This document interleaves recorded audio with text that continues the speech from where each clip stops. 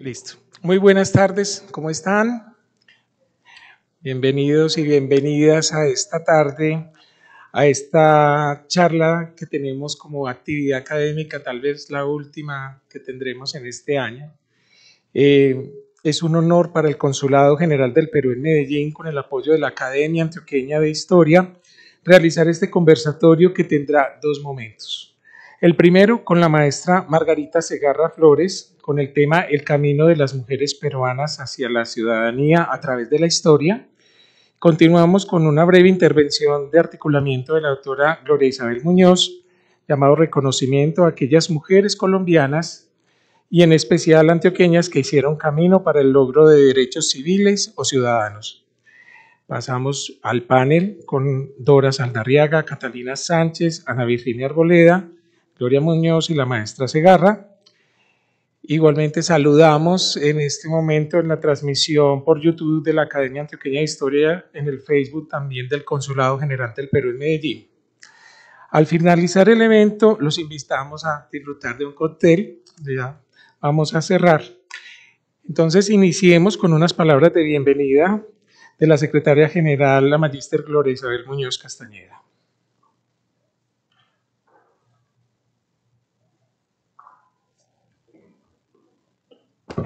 Muchas gracias, Eric.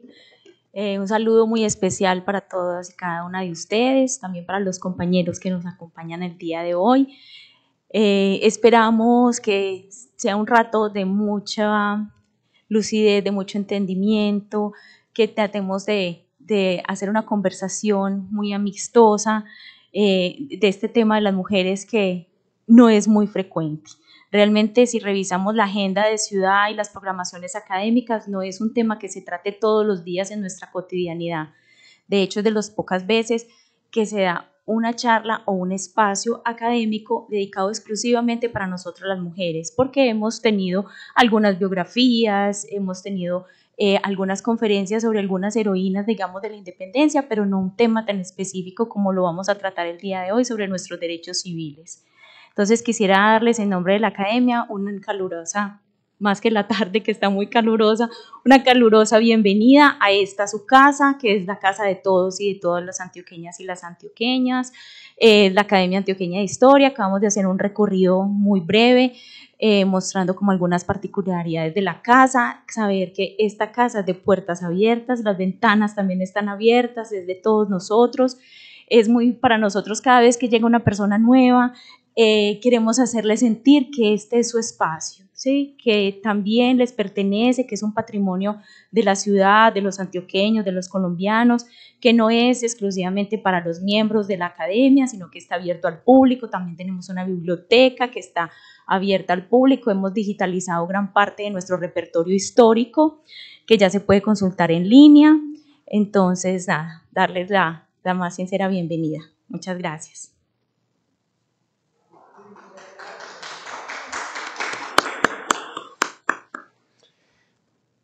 A continuación, saludos de la señora cónsul Patricia Nava Pérez.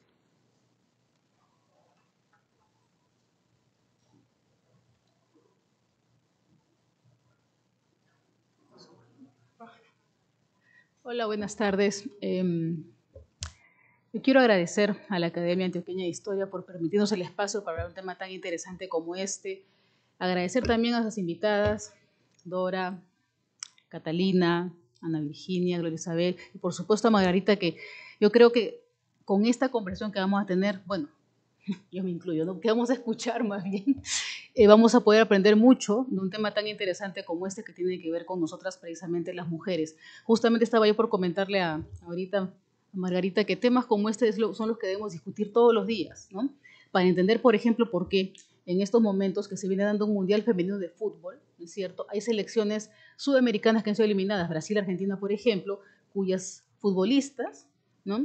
han hecho huelga en algunos casos por poder entrenar en, un, en una cancha de grama.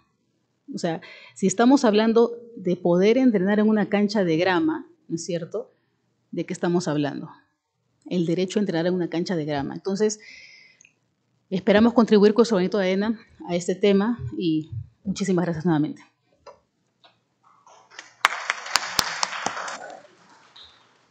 Bueno, entremos en materia, eh, maestra. Voy a hacer una presentación breve, que era bastante extensa en su perfil, pero yo la resumí. Eh, Margarita Segarra Flores es magíster en historia, historiadora e investigadora especializada en la producción de nuevos conocimientos sobre la historia peruana, con énfasis en la historia cultural y social y la historia de las mujeres orientada a su difusión en el ambiente académico a través de conferencias y ponencias en congresos nacionales e internacionales, además de la publicación de libros y artículos académicos. Experiencia en la jefatura del programa y áreas en la organización de ferias del libro y congresos académicos, en la edición de libros académicos y de difusión, en la docencia universitaria y la capacitación docente, entre otras actividades de promoción de la lectura. Bueno, maestra, todo suyo el escenario.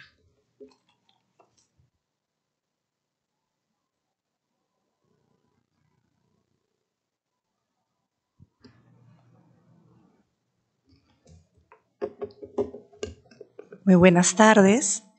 Estoy eh, muy, muy conmovida y contenta de este recibimiento, de estar aquí.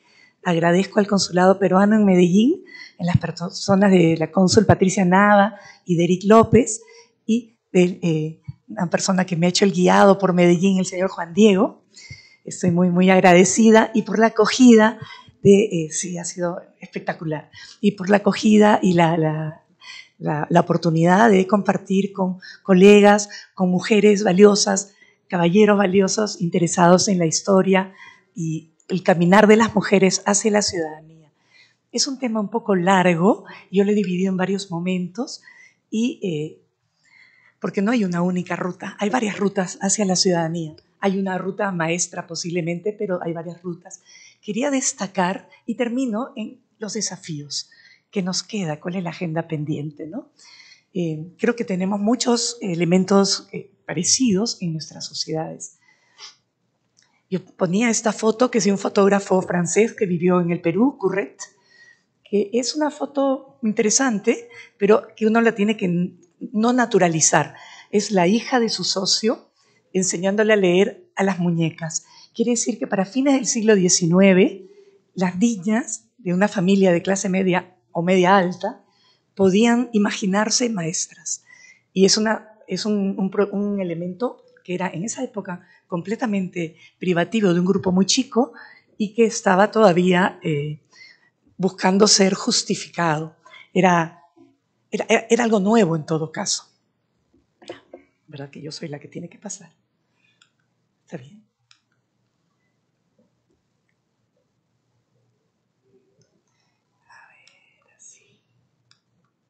¿Apunto para acá? ¿Apunto para allá? Mm, no, para acá. Ahí está.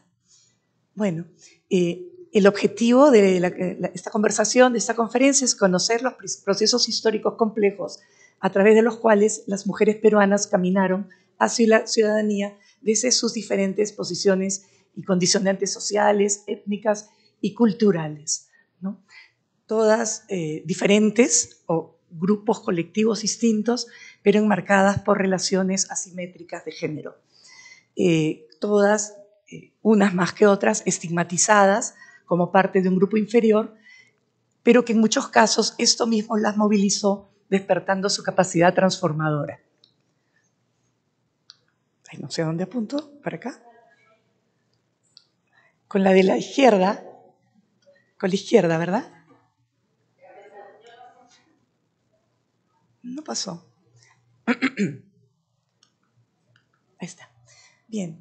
Eh, cuando llega eh, los españoles, la conquista española, en el caso peruano, imagino que aquí también, traen consigo eh, sus propios patrones de relaciones de género y en donde las mujeres, desde el lenguaje filosófico, la concepción griega aristotélica, era un varón mal formado.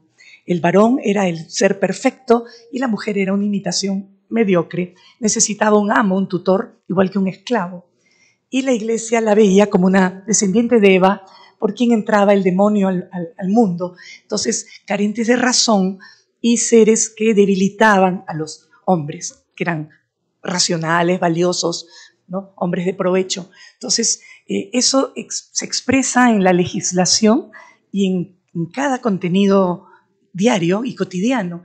Y sin embargo, se, están topando con una sociedad en la cual había 5.000 años de desarrollo civilizatorio y había mucha presencia de mujeres que habían ejercido el poder político. Por ejemplo, parece que inclusive en Caral habían sacerdotisas, definitivamente en la sociedad mochica, en la costa norte, años 100 al 800, la señora de Cao era sacerdotisa y gobernanta, habían mujeres también mochicas que participaban en una ceremonia sangrienta, la ceremonia del sacrificio, en la cual estaba el señor de Zipán y otros como él. Y eh, eran, eh, se ha hecho el estudio de ADN de sus tumbas, en donde están con las coronas. Se pensaba que era un mural, que era como un cuento, un mito, pero se han encontrado las tumbas, parece que pertenecía a un mismo linaje femenino. Y así se sigue avanzando entre los incas, la coya, las mujeres que estaban siendo seleccionadas para ser entregadas como alianzas. Eso tiene sus problemas, porque para los hombres eso está muy bien. Las mujeres preparadas, muy finas, eh, del imperio incaico, que sabían hacer chicha de jora, de bebidas sagradas, y que serían entregadas a los eh, gobernantes con quien el imperio se aliaba.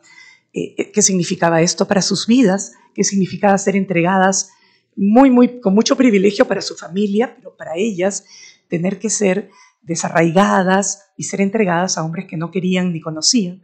Esa historia no se puede saber. Como mujeres sí la podemos pensar. Los hombres no las han pensado. Ah, no eran mujeres privilegiadas. Sí, era tan sencillo, era complicado también.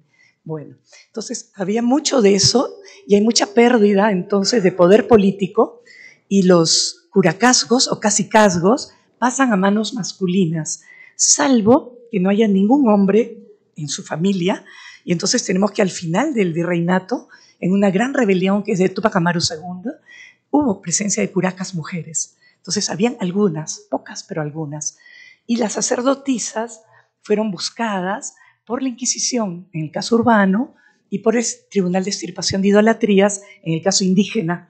Y claro, no las mataron, pero las flagelaron, les quitaron todos los elementos, las llamaron hechiceras y siempre las vigilaron. Entonces, eh, dentro de esa gran campaña de transformar las creencias andinas en católicas, eh, hubo muchas personas que fueron perseguidas y muchos de los saberes femeninos y de sus roles quedaron en las márgenes. Sin embargo, tenemos que la Inquisición sigue encontrando hechiceras en el siglo XVII, por ejemplo, y son mujeres, muchas de ellas urbanas, con clientas solteras o viudas, con clientas que les piden que el esposo no les pegue o que no les sea infieles. Son los pedidos principales. Entonces ellas les dan una serie de pócimas para cambiar una vida cuando la sociedad las llevaba a que fuera muy natural que el esposo eh, educara pegando, y, o, bueno, sociedades jerárquicas donde habían esclavas y, sirvientas indígenas, pues la infidelidad era cosa de todos los días. Entonces ellas pedían un nivel de protección y estas hechiceras les daban, ¿no? Luego la Inquisición eh, las ajustaba y ellas decían, no, yo les he dado hierbas para que estén sanas. Entonces todos los argumentos, pero pasaron a ser transgresoras. Mm, el matrimonio es eh, siempre difundido por la Iglesia como la manera de encauzar la sexualidad, pero en el siglo XVII, en Lima al menos el 20% de las parejas estaban casadas. Las relaciones extraconyugales era lo normal, por el fácil acceso a esclavas, el fácil acceso sexual a esclavas y a criadas. Por lo tanto, eh, estaba muy, había muchísima tolerancia social y muchos hijos ilegítimos, cuya presencia va recién a resolverse en el siglo XX. Siempre marginales, siempre privados de derechos, y en el caso de los hijos de esclavas, pues esclavitud corría por vientre, ¿verdad? Entonces eran esclavos también. El padre podía bien venderlos o darle alguna ventaja. Depende, si no tenía más hijos, lo hacía su secretario. Si tenía más hijos, lo arrimaba, ¿no? En fin no estoy muy segura de cómo...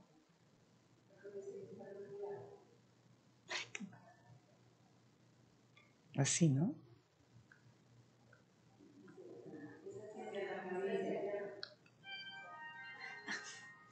Bueno, eh, solo recordar que el catolicismo de esa época es un catolicismo de la época de la contrarreforma contra los protestantes y entonces es, hay mucho de místicos, esos aislamientos, Santa Rosa de Lima, nuestra primera santa, uno se le imaginaría ayudando a los pobres, pues no, ella rezaba, oraba, entraba en éxtasis, imitaba a Catalina de Siena, ¿no? tenía mercedes, llagas y cosas así, y se, se ponía corona de espinas, se flagelaba, se, castigaba el cuerpo para que el espíritu sub, eh, ascendiera. Entonces, son, eh, son uno de los caminos que, que, podían tener algunas mujeres, y de hecho Santa Rosa fue muy vigilada por la Inquisición, pasó la prueba, entre otras cosas por su nivel de misticismo y porque no escribió, no quiso escribir, se, se consideraba muy humilde, pero otras que estaban como ella, que escribieron copiosos diarios, fueron examinados, asesorados por jesuitas, todo, pero pasaron por la Inquisición y las castigaron, las raparon, las flagelaron. Entonces era, estaba al límite de estar, ser santa o ser poseída por el diablo, ¿no? Era un terreno muy delicado porque a las mujeres se les negó todo. San Pablo decía, la mejor virtud de una mujer es el silencio. Pero una mística, una mujer que hacía milagros, eh, ¿quién era un ser humano para decirle a Dios, no escojas a una mujer? como, como reservorio. Entonces, era cosa de Dios y no la podían objetar, pero normalmente casi ninguna llegó a esa posición. Cuando las mujeres no querían, no aceptaban ser casadas, porque el matrimonio no era libre, el matrimonio por amor es un invento bastante moderno, ¿verdad? Eh, si no querían ser eh, monjas, que era una opción tomada por muchas, porque había mucho manejo de recursos económicos, los conventos eran eh, como bancos, fuente de mucho dinero. Trece grandes monasterios de Lima tenían un poder económico, le prestaban al virrey, al comercio, tenían tierras. Con el temor al purgatorio y el infierno recibían donaciones. Los conventos de hombres y de mujeres. Y también habían beatas, que eran mujeres que no tenían el dinero para entrar a un convento, como Santa Rosa, que fue una beata, ¿verdad? una terciaria. Hay una cultura del honor muy mediterránea que dice que un hombre pierde honor si la mujer pierde fama de virgen, por ejemplo, ¿no? Entonces, eh, dentro de esa cultura del honor, la violencia hacia la mujer quedó naturalizada. Tenemos muchísimos casos, me imagino que acá también, en donde se ven eh, expedientes de divorcio eclesiástico pedidos por mujeres porque ya era demasiado. Ya habían abortado a hijos a patadas, o, en fin, cosas terribles. Y el argumento era la sevicia, la sevicia que es la crueldad extrema y estas aumentan en el siglo XVIII. En parte porque hay un poco más de conciencia de derechos, está llegando la ilustración y se abren más tribunales que reciben las causas. A fines del siglo XVIII aparece, se da una legislación en España, la pragmática sanción, que acá también rigió, por el cual los, matrimonios son prohibidos, los matrimonios desiguales posibilitan que los padres deshereden a sus hijos. Entonces, esto fortaleció los matrimonios arreglados por los padres. Si antes un, Romeo y una Julieta podían tocarle la puerta a un cura y decir, nos amamos, cásanos, y la iglesia los podía casar, en el siglo XVIII con la pragmática sanción era imposible. Los padres tenían que autorizar. Entonces, es un Estado mm, más centralista que le da el poder a los padres, se lo quita a la iglesia. Hay una prensa que trae muchos ideales ilustrados de Europa, la prensa de 1790, más o menos esos años, y están mostrando el nuevo modelo de ser mujer, un modelo que mucho había planteado Rousseau. Era eh, la pareja del Emilio, el Emilio, el niño natural, y Sofía, su esposa, que debía de educarse para estar al nivel de él, no ser una sierva, ser su pareja. Y por lo tanto debía ser una madre de hijos, debía formar los futuros ciudadanos de la patria. Entonces, esto, este mensaje entra con muchas dificultades en una sociedad extremadamente jerárquica, con esclavos y con siervos. Y si bien hay aspectos que se toman, por ejemplo, señoras, no deleguen sus funciones en esclavas, en, porque ellos decían, ustedes delegan en, mujeres mulatas que a veces son, las, eh, son hijas del amo. Será todo un una promiscuidad tremenda entre las casas, las casas abiertas, amplias. No era la casa nuclear burguesa de Europa de, la Ilustración. Entonces le decían, traten de concentrarse en los hijos, no estén en las calles, pero era sumamente difícil. El semanario crítico decía incluso, den de amamantar. Era tal el choque que se reían de ese sacerdote y los jesuitas le dijeron a las mujeres de élite, tranquilas, sabemos que ustedes por motivo de su posición social no pueden amamantar, qué feo que se vería. Pero son temas que están entrando para configurarles de esfera privada. Ahí está Rousseau, los dos eh, primeros periódicos del fines del virreinato. Ahí. Viene la independencia y como acá también muchas mujeres participan porque escuchan, no leían.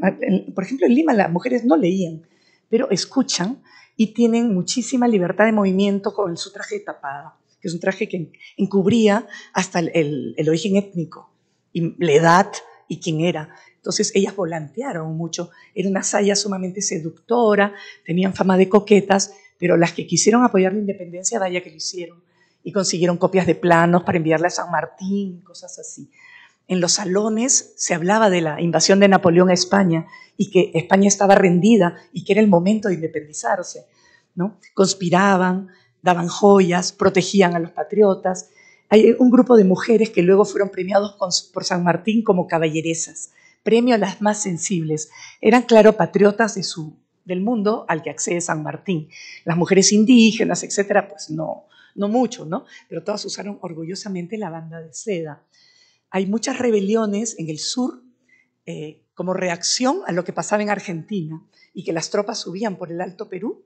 Entonces, Tacna, Cusco, Puno, Arequipa, Huánuco se levantaban, pero el virrey mandaba las tropas al Alto Perú y nunca los argentinos lograron pasar. Por eso San Martín hace la estrategia de ir por mar, a Chile, cruzar la cordillera, ir a Chile, ayudar a, tener la independencia y por mar llegar a, desembarcar a, a. Entonces, hay muchas mujeres que participan en todas estas rebeliones, transportando armas, aprovisionando, y muchas fueron torturadas. Se tienen algunos nombres, otras, otras no. Eh, cuando llega San Martín, se desarrollan una, sube Arenales, que es un militar argentino, sube a la sierra a, hacer levantamientos. La sierra central fue sumamente, declara la independencia mucho antes que Lima, sumamente receptiva frente al mensaje patriota, las mujeres también. Entonces, acompañando a este militar, surgen muchas guerrillas, eh, montoneras, digamos, y una figura que era la de las mujeres indígenas, miren que no eran ejércitos profesionales, en el Perú, no sé en Colombia, en el Perú el ejército profesional es de los últimos cinco años del siglo XIX. Y en esta época habían muchos ejércitos. los españoles tenían el ejército, pero los patriotas tenían muchos. Por eso después van a venir los caudillos y sus ejércitos. Y las mujeres indígenas, llamadas rabonas, porque iban atrás de estos ejércitos, que no tenían para rancho, no tenían para darle vivienda, comida al indio, que era levado de su choza, o que voluntariamente se unía. Entonces ellas se cortaban las trenzas y iban atrás, en el rabo, digamos, atrás del ejército, y las trataron de prohibir, pero como no podían dar lo que ellas proveían, finalmente todo el siglo XIX, las rabonas acompañaron a sus hombres indígenas a las guerras.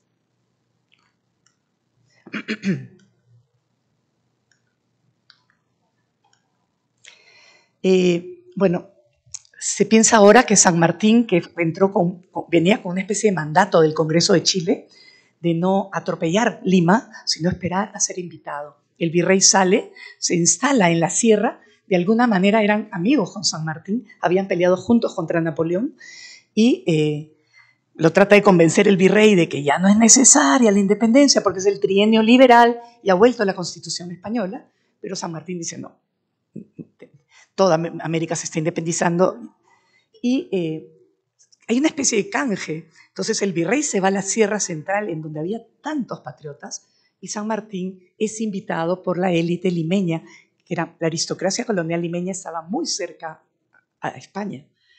En la época de la rebelión de Tupac Amaru habían apostado y habían dado millones de pesos para, de pesos de oro, ¿no? de, de ocho reales, para combatir a Tupac Amaru. Y ahora también lucharon contra los patriotas. Pero finalmente el virrey se va y se quedan ellos. Entonces es una situación muy tensa. Y finalmente eh, entra San Martín invitado y como ninguno, o hay muy pocos que están planteando gobernar, porque están posiblemente más cerca de España aún, salvo excepciones, se queda un año como protector. Funda la Biblioteca Nacional con sus libros y premia, está generando una nueva élite. Están expulsando a los, a los españoles, los votan un día, los sacan en pijama y los llevan al puerto y eh, están dando la orden del sol a los patriotas, una nueva élite. Él creía en una monarquía constitucional. Y a las mujeres la banda de seda. Son épocas de, eh, de mucha violencia y hay mujeres que participan en las guerras. Y para los hombres, por ejemplo, eh, un escritor, Ricardo Palma, que es uno de los típicos escritores nuestros de 1850, que era, era como un viejo gracioso que contaba historias coloniales y que era muy, muy respetado, sobre Manuelita Sáenz, la, pareja más larga que tuvo Bolívar, decía que era un mujer-hombre. Doña Manuela era una equivocación de la naturaleza, que en formas esculturalmente femeninas encarnó espíritu y aspiraciones varoniles. No sabía llorar, sino encolerizarse, como los hombres de carácter duro. Leía a Tácito y a Plutarco, estudiaba la historia de la península en el padre Mariana, que era un jesuita, y la de América en Solís y Garcilaso. Era apasionada de Cervantes. La Sáenz fue la mujer hombre. En cambio, la amante de San Martín, que era Rosita Campuzano, que era toda coqueta, era la mujer mujer. ¿no? Entonces, siempre los estereotipos. Sin embargo, el espacio público está muy masculinizado, época de caudillos, que podía llamar la atención que algunas mujeres, como Francisca Subiaga, la mariscala, doña Pancha, vistiera traje de hombres y participara en batallas.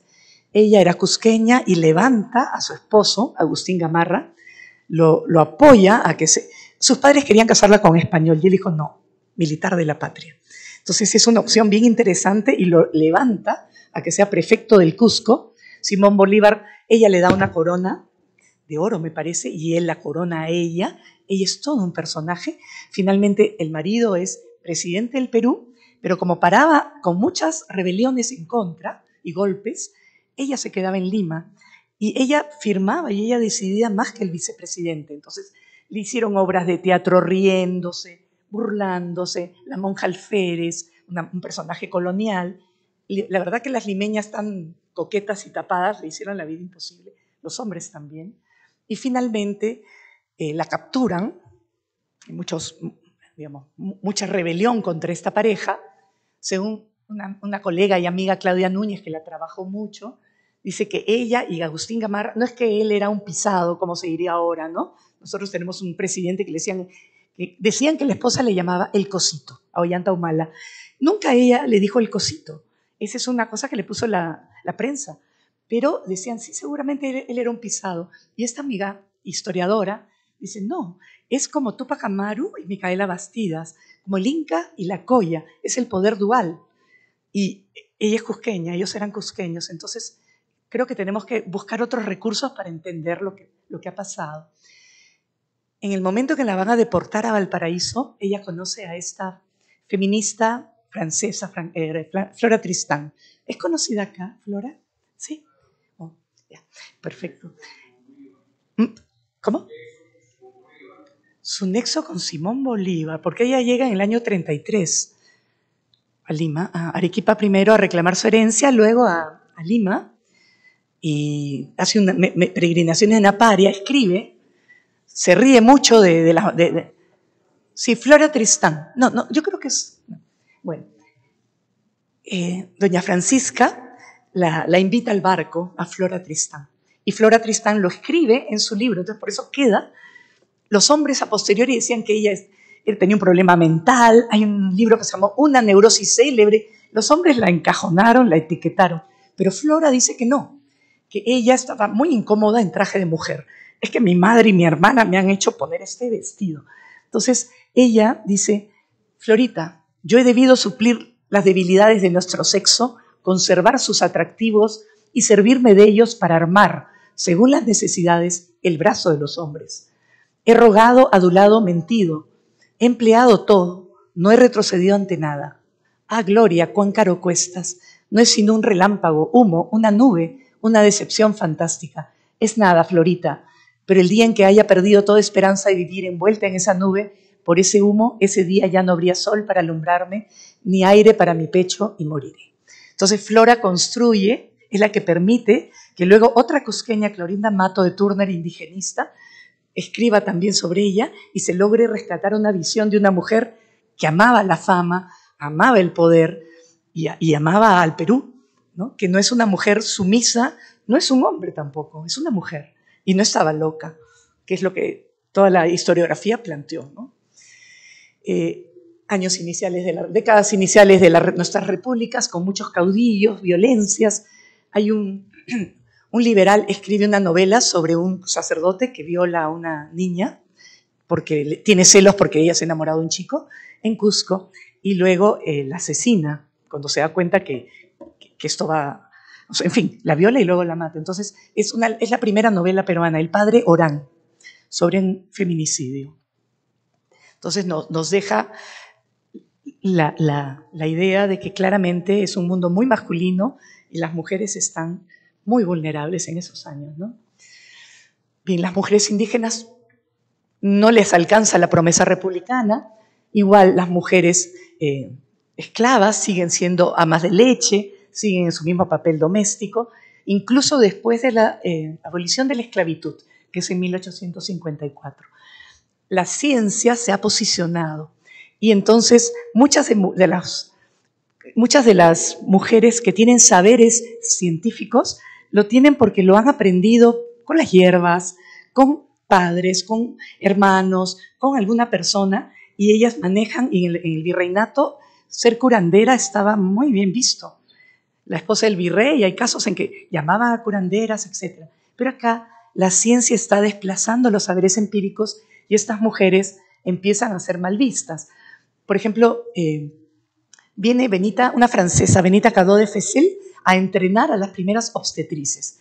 Entonces hace una campaña contra las parteras, que qué barbaridad, les hacen cortes a las mujeres para que salga la cabeza del bebé. Y bueno, se hace cortes hoy en día, ¿verdad? Y, en fin, le crea la primera maternidad. Dentro de la campaña contra las parteras, eh, empieza este desprestigio, que las parteras hacen que las mujeres se pongan gallinazos en la cabeza, cosas absurdas que está dentro del caminar de la ciencia que va a ir desplazando a las mujeres. Una importante eh, curandera de los primeros años de la República es llevada por protomedicato al Congreso y ella trae a 18 testigos que señalan cómo ella los curó luego de que habían sido desahuciados por los médicos y que ella había aprendido y que era una persona que sabía mucho de hierbas y el Congreso liberal de esos años le dice, usted puede seguir curando. Unos años después hay una, una mujer que cura de la locura, Justa Retamoso, y ahí sí ya, 1860, ya no merece ni una página en una enciclopedia científica. Dicen, sí, era una curandera que vivía en la calle Gallinacito, no sé qué. Pero ya no se dice que ella tuvo varios casos en que en una época en que le echaban agua fría con hielo a la gente que tenía demencia, etc., ella trataba con hierbas, con métodos de bondad, de escuchar, y curó muchas personas. Pero no, ya no era posible el reconocimiento masculino. Decía que había traído libros de Francia, ya no importaba. La mujer estaba para la casa, el hombre estaba para la ciencia. Es una época también en que se critica a las monjas y a las beatas por inútiles para la sociedad. Entonces la pregunta es, bueno, si las mujeres ya no podían ser monjas ni beatas y quizá no querían que las casen a los 13 años con un viejo, ¿qué camino les quedaba si no tenían educación? No tenían camino alguno, ¿verdad? Y entonces empieza el tema de la educación de las mujeres que estuvo en el proyecto de nacimiento de nuestras repúblicas, venía desde la idea de formar ciudadanía, soberanía popular. Pero ¿cómo se educa a las mujeres? ¿Cómo se les saca de las calles y se las educa? Bolívar eh, trajo, hizo uno de los primeros colegios para mujeres en Cusco, el Colegio de Educandas, laico y con directoras, rectoras mujeres. Fue un colegio muy valioso. Eh, decía que el sexo femenino hacía muy degradado por los españoles y acá eh, en este colegio estudiarían dos notables cusqueñas. Trinidad Enríquez, la primera universitaria peruana, en 1874, y Clorinda Mato, la, primera indigenista. Entonces, eh, pero iba a contracorriente, o sea, no había un sentido común de que había que hacer colegios para mujeres para nada.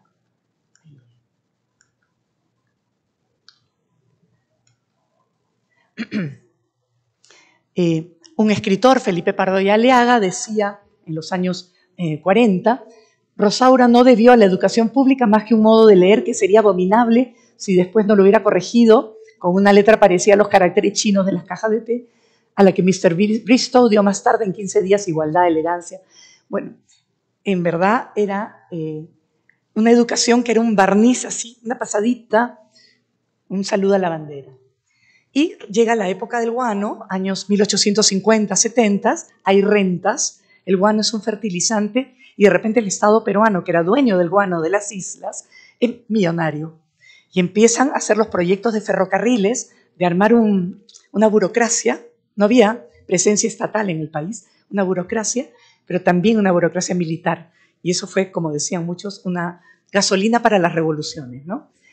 Eh, se hace un nuevo código de inspiración napoleónica donde se dice que la mujer, ya no por ser hija de Eva, sino por su naturaleza biológica, es una época de ciencia, por su naturaleza debe ser tutelada, porque es débil y necesita. Entonces, es un código republicano tutelar.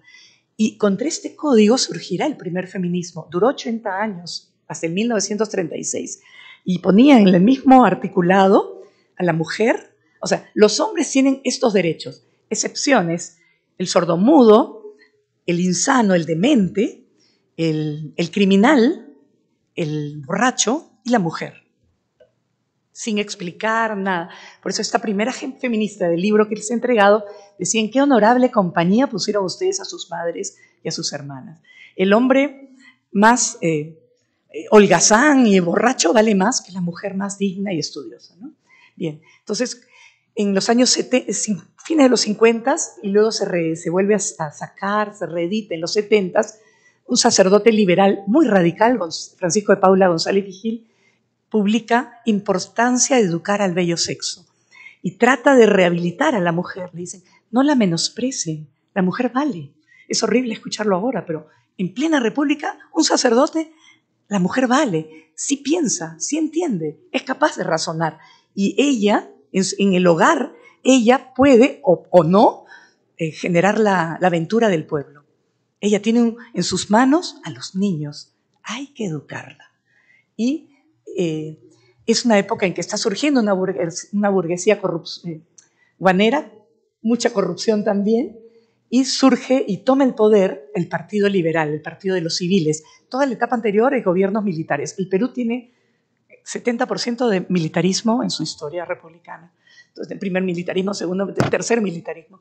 Entonces, acá hay un momento corto en que el Partido Civil toma el poder y hay cierta meritocracia y es el momento en que surge la primera generación de escritoras. Eh, escriben, sacan los primeros semanarios, escriben con dudas, escriben con incertidumbre y también hacen veladas literarias quien nuclea esto es una argentina, eh, Juana Manuela Gorriti, pero vienen a sus veladas y a sus semanarios mujeres de todo el país. Viene de Cusco Clorinda Mato, de Moquegua Mercedes Cabello, Carolina Freire Jaime de Tacna, y también hay limeñas, evidentemente, que habían, se habían autoeducado, habían crecido educadas por tutores o por sus padres, porque casi no había escuela femenina. Y entonces empiezan a escribir y siempre justificaban que lo hacían luego de acostar a los niños y que no estaban hablando desde la razón, sino la emoción y la experiencia.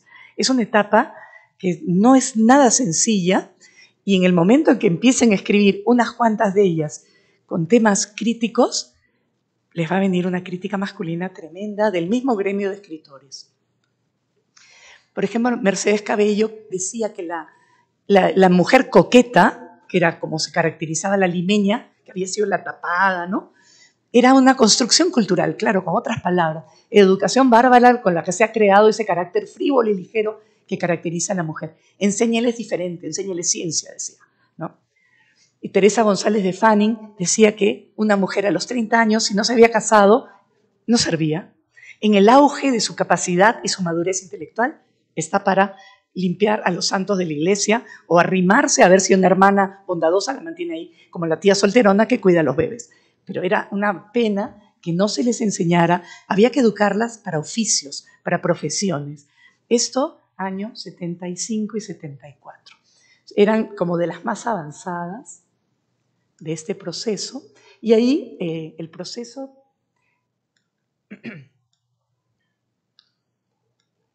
El proceso es interrumpido por la guerra que viene a los 3, 4 años. Nuevamente las mujeres participan, ¿no? desde todo punto de vista. Eh, ambulancias, batallones, las que tenían dinero, ¿no? donaciones de sangre, enfermeras, mujeres que lucharon. Pero eh, eso no les ganaba. Realmente ese no es un camino a la ciudadanía, porque mujeres en las guerras ha habido siempre, en Esparta, en todos lados. Pero eso no es un camino hacia la ciudadanía. Un camino hacia la ciudadanía era tomar la palabra tomar, eh, poder eh, no solamente tomar la palabra y tener una, capacidad de reflexión que convierta a las mujeres en seres con pensamiento crítico, sino generar lectoría femenina. Eso era nuevo y esta primera generación lo estaba logrando. Porque si en el Mercurio peruano habían dos suscriptoras mujeres, en estos semanarios las mujeres lo compraban, lo leían, lo consumían. Entonces acá sí estaba habiendo mujeres que leen. Eh, en, la resistencia Lima es capturada por Chile, pero hay eh, un militar que queremos mucho en el Perú. Creo que en la independencia, como venían San Martín y Bolívar, no, no nos emociona tanto los héroes, pero sí de la guerra. Eh, fue nuestra etapa dura, triste, y hay muchos héroes, muchas calles y plazas con los nombres de los héroes de Grau, Bolognesi, etc. Y entonces Cáceres no, fue tan, no tuvo tantas plazas porque no murió en la guerra con Chile y luego fue presidente dos veces, entonces político lo sacaron con golpe de Estado. Pero su esposa eh, participaba en una red de resistencia que buscaban armas y cañones que no se habían perdido en la guerra y las sacaban de Lima clandestinamente y lo mandaban a la sierra. Hay una memoria, una Gregoria Bernales de 18 años, se encuentran sus papeles cuando a los 60 años pide Montepío y hay muchos testigos que dicen que ella entraba a los cuarteles chilenos en Lima con sus faldas, como sería muy, que, era muy linda, y sacaba armas, porque ahí había muchas armas enterradas, sacaba armas y se iba en su carroza y las llevaba al cuartel general de donde se iban hacia la sierra. Entonces, faltan información, pero ahora hay todo el deseo de buscar, ¿no? Bien, y otra parte de la historia, el cuerpo de las mujeres, parte del botín de guerra, ¿no? las violaciones en Pisagua, donde desembarcan los chilenos, en Chorrillos, donde había una ebriedad, porque dominan la ciudad de Lima, ¿no? historias de silencios, que primera vez que se escribe sobre eso cuando fue la época de Sendero Luminoso, y hubo muchos libros, y el informe de la Comisión de la Verdad, y la Comisión de la Verdad, como habían mujeres también, incorporó el tema de las violaciones a las víctimas. Pero ¿por qué si ellas no luchaban? Bueno, las violaron. Cuando iban por el esposo, por el hijo, por el hermano, los militares de, los, cuarteles pasaban todas por ellas. Entonces, son víctimas del conflicto armado interno, más de los militares que de, los mismos senderistas, lamentablemente. Sendero lo que hizo fue esclavizar mujeres de la selva, eh, sexualmente incluso, pero los militares violaban. Hay muchos niños NN o teniente. Es un tema así, en, lugar de la memoria, que es el Museo de la Memoria que tenemos en Lima, hay muchas de estas historias, ¿no? Nunca los militares contaron, dijeron quiénes eran los padres y entonces aparecen solo como victimarios, no aparecen como víctimas porque no quisieron contar nada. Y claro que seguro hubo muchas víctimas, pero fueron terribles, es una época muy, muy terrible. Bien, después de la guerra con Chile, hay una nueva etapa en que reaparecen estas escritoras. No sé por qué no lo logro. Puede pasar la mano. Y eh, esta Mercedes Cabello, que había hablado de la educación bárbara, ahora va a ser de las primeras novelistas. Y sus novelas ofendieron muchísimo a la población de Lima porque tomó, o sea, no es que exactamente tomó, pero Blanca Sol es una mujer joven, hermosa, que usa de, de, su, belleza el corsé apretadísimo, aunque estuviera en cinta, no importaba, se desmayaba, no importaba el corsé, ¿no? Y tenía muchos pretendientes y un esposo al que ella manejaba con el dedo y lo fue subiendo a la política, pero también lo llevó a la ruina con las fiestas. Entonces, el modelo que Mercedes Cabello relata es tomado de la historia, de, de lo que ella veía. Le dijeron que era el colmo. Luego, otro de sus libros es sobre Nicolás de Piero, el conspirador, experto en golpes de Estado, en rodearse de montoneras, en generar inestabilidad. En su novela ella decía que hasta había prostituido a su esposa, bien fuerte, y que para su mala suerte luego Piero la es presidente durante la guerra y vuelve a ser presidente a fin de siglo. Ella termina en el manicomio. Termina, el esposo le contagia sífilis, era desgraciado, le contagia sífilis y entonces le da demencia. Y esta mujer brillante, que era positivista, que escribía mucho sobre Comte, la religión de la humanidad, tiene muchísimos textos, menciono dos novelas, tiene muchísimos textos, esta mente poderosa, valiente, termina en un sanatorio, sentado en una silla apagada, ¿no? Tenemos a una ayudadita. Esta de nuevo, Teresa González de Fanning, me he olvidado de decir que esta Mercedes Cabello, lo último que hace, así como demandaba enséñele ciencias a las niñas, un día va a unos exámenes en un colegio que había sido fundado por Teresa y los felicita a las chicas y a las profesoras. Le dice, vaya, ustedes, a diferencia de las monjas, en los colegios religiosos, ustedes sí enseñan anatomía. O sea, el cuerpo existe. Están aprendiendo sobre el cuerpo femenino, fisiología. Maravilloso, bravo. Así debería ser siempre. Esto lo rebotaron en el periódico El Comercio y le dieron duro la pobre Mercedes Cabello.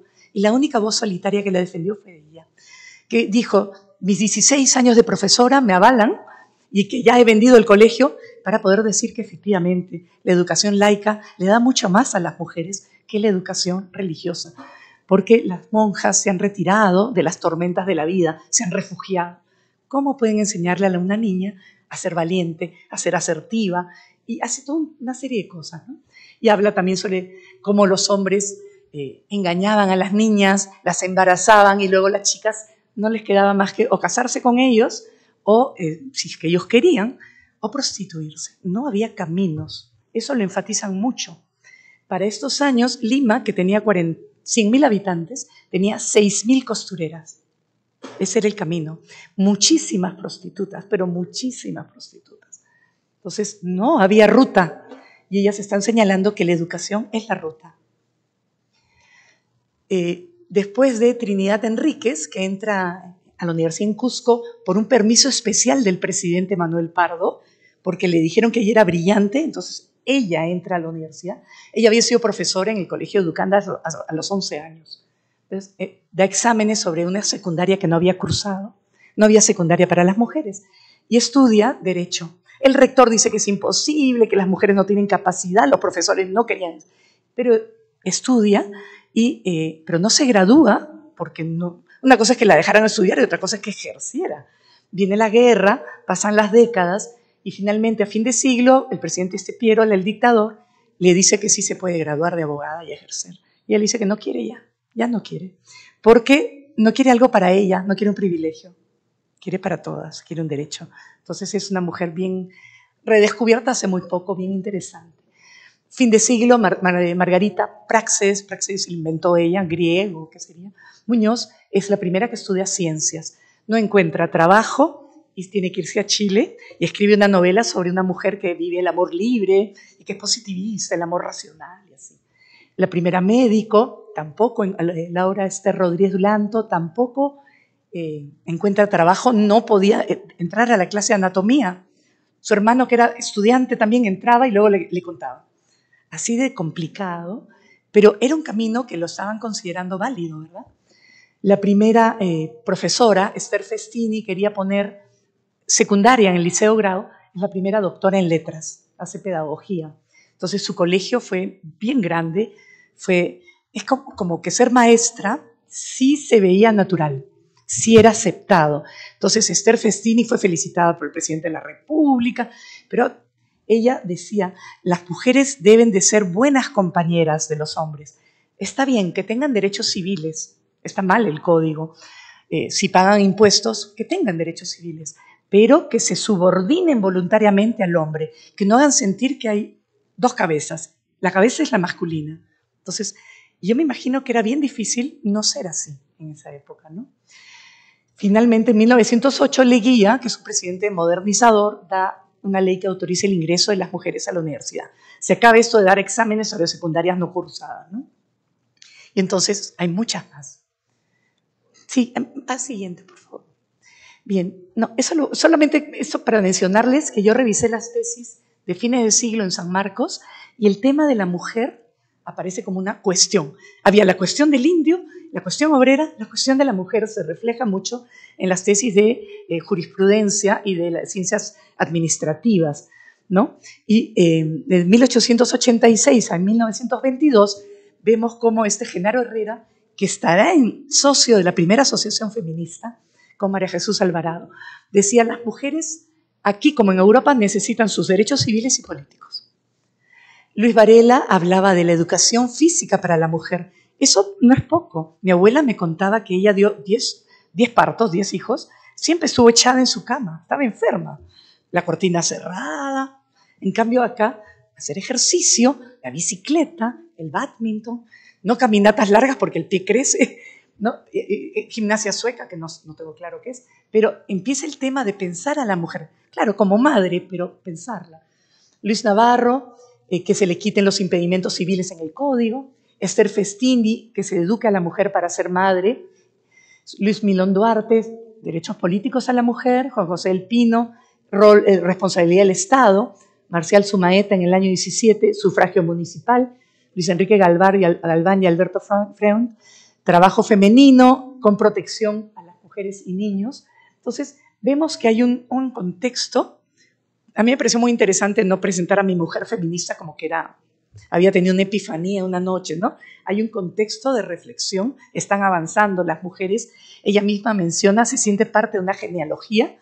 María Jesús Alvarado, que es la siguiente, por favor, habla de Clorinda Mato, habla de Teresa González de Fanning, estaba en su consejo consultivo, ¿no? Mercedes Cabello ya estaba, eh, ya había muerto, Clorinda también, pero están ahí Teresa González de Fanning, habla de ellas como una genealogía, como, como que se dan la mano, ¿no? Siguiente, por favor.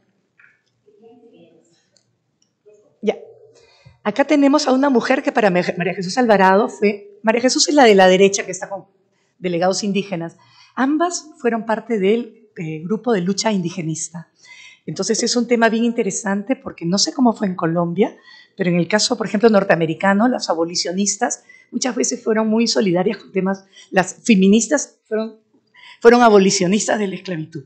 Hay como una, una comprensión de los débiles, de los marginados, de los que no tienen derechos. Hay una solidaridad. Entonces, acá tenemos a Dora Mayer, una alemana de Hamburgo que a los cinco años la traen y que no sale del Perú, que era más peruana que la mazamorra morada, y que dirige el, periódico de eh, El Deber Proindígena, y dice que los cobrizos son los hijos predilectos de la patria porque no la han traicionado. ¿Quién la había traicionado? La clase alta en la guerra. Entonces, como si sus clases dirigentes. Y ella diagnostica antes que, eh, por ejemplo, Clorinda Mato había hablado que los indios eran seres oprimidos, avecinidos se llamaba su libro. Eh, los maltrataba el cura, los maltrataba el prefecto, les quitaban sus tierras. Eh, es un tema así lacrimógeno, por el cual quería empatar con la sensibilidad del lector, porque había la tendencia a pensar que por los indios habíamos perdido la guerra, porque se escondían, corrían. Claro, si los llevaban a latigazos, escuchaban el primer cañonazo y muchos salían corriendo, muchos murieron. Pero ella no, ella dice, todo esto que pasa en la zona del caucho, en la zona de la costa norte de las haciendas azucareras, agroexportadoras, en la zona lanera que exporta, donde los gamonales, los hacendados les quitan sus tierras y sus alpacas y vicuñas a los indios. Todo es lo mismo, servidumbre. ella le pone el nombre al sistema y creo que eso fue muy importante para entender hacia dónde había que generar los cambios.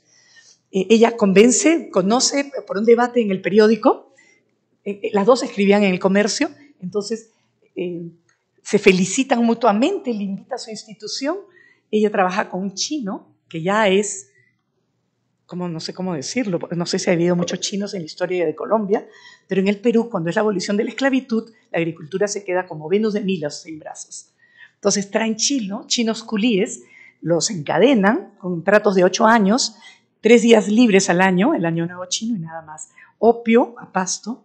Lo único, la diferencia de la esclavitud es que en algún momento dado ya eran libres, pero los despreciaban, decían que eran homosexuales, pero era una migración masculina, solo traían hombres. Entonces fue terrible. Y, en esta sociedad estaban Dora Mayer y Pedro Zullen, que era un chino, de quien ella se enamora perdidamente. Y ella era como el doble de la edad, digamos que tenía 45 y 25. Entonces, él era un, filósofo delicado, hermoso, brillante, y ella enamorada, publicaba en el periódico sus cartas de amor y como él delicadamente le decía que no, y ella cada vez más y él que no, pero al final ya se pelean, y publica eso en público. María Jesús, que era vocal, recoge ese, número del periódico, lo recoge, se hace un lío, se rompe la asociación proindígena y se pelean. Ella era de, la asociación feminista y en ese momento se distancian por, el amor. Y escribe un libro en que cuando él muere, ella se pone el apellido de él. Dice que es, ella es su viuda. No se casaron, pero ella decía que era su viuda. Y eh, que ella le había dado dinero a, su madre y a él. Y que así como los hombres muchas veces daban dinero a las mujeres menores, ella, que era mayor, pues lo quería mucho y lo, lo había mantenido. Entonces, para la sociedad limeña era una barbaridad sin nombre de una mujer que decía esas cosas como si fuera un hombre. Entonces, no, se reía, no le importaba, era muy, muy interesante. Bueno, entonces María Jesús fue parte de este movimiento y venían de Puno, no sé si ustedes han visto las noticias que vienen muchas marchas de Puno a Lima últimamente, que ha habido cosas bien fuertes. Bueno, Puno tiene una historia de conciencia, de defensa de derechos desde el siglo XIX y luego en el 20, eso es el año 13, eh, como los gamonales están quitándoles las haciendas y los animales. Entonces ella les, hace, les escribe un memorial para hablar con el presidente Billinghurst de la República y los lleva, le dice, peínense, ustedes descienden de los incas. No se sienten en el suelo, porque le decían, mamita, se sentaban en el suelo, ustedes son dignos.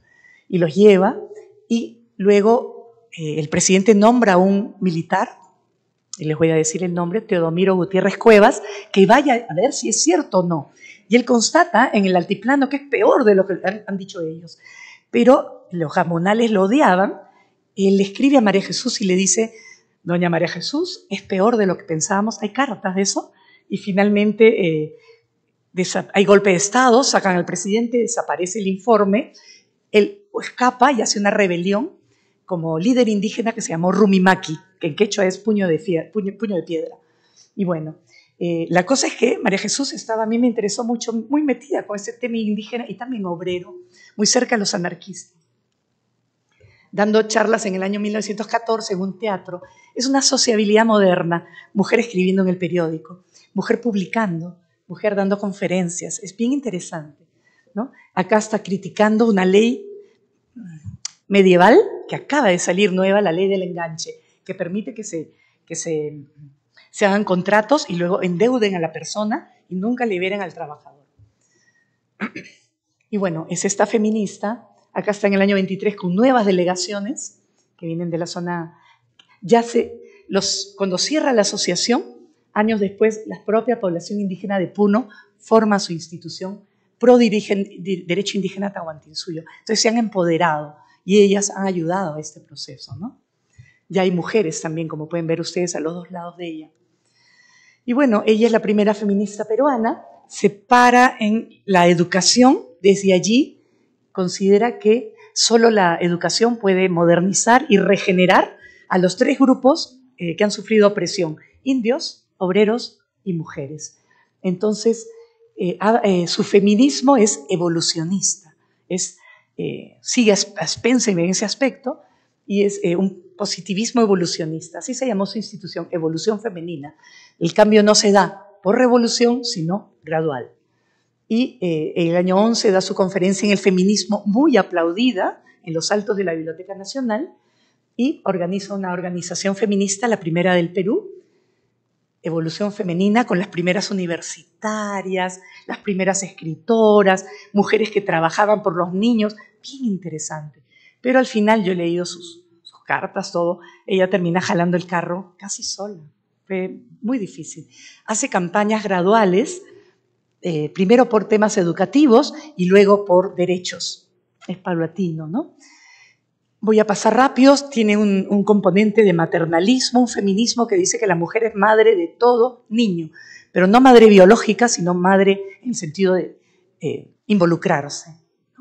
Y entonces hay que aprender a ser madre, tener cursos de economía doméstica y puericultura. Y este, e, este ser madre en la sociedad le permite acceder a derechos políticos y, eh, eh, y, sufragio.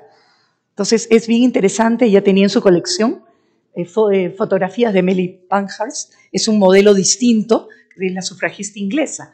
Y es bien interesante porque en el año 11 ni Inglaterra ni Estados Unidos tenía sufragio todavía femenino. Entonces es bien vanguardista, ¿no?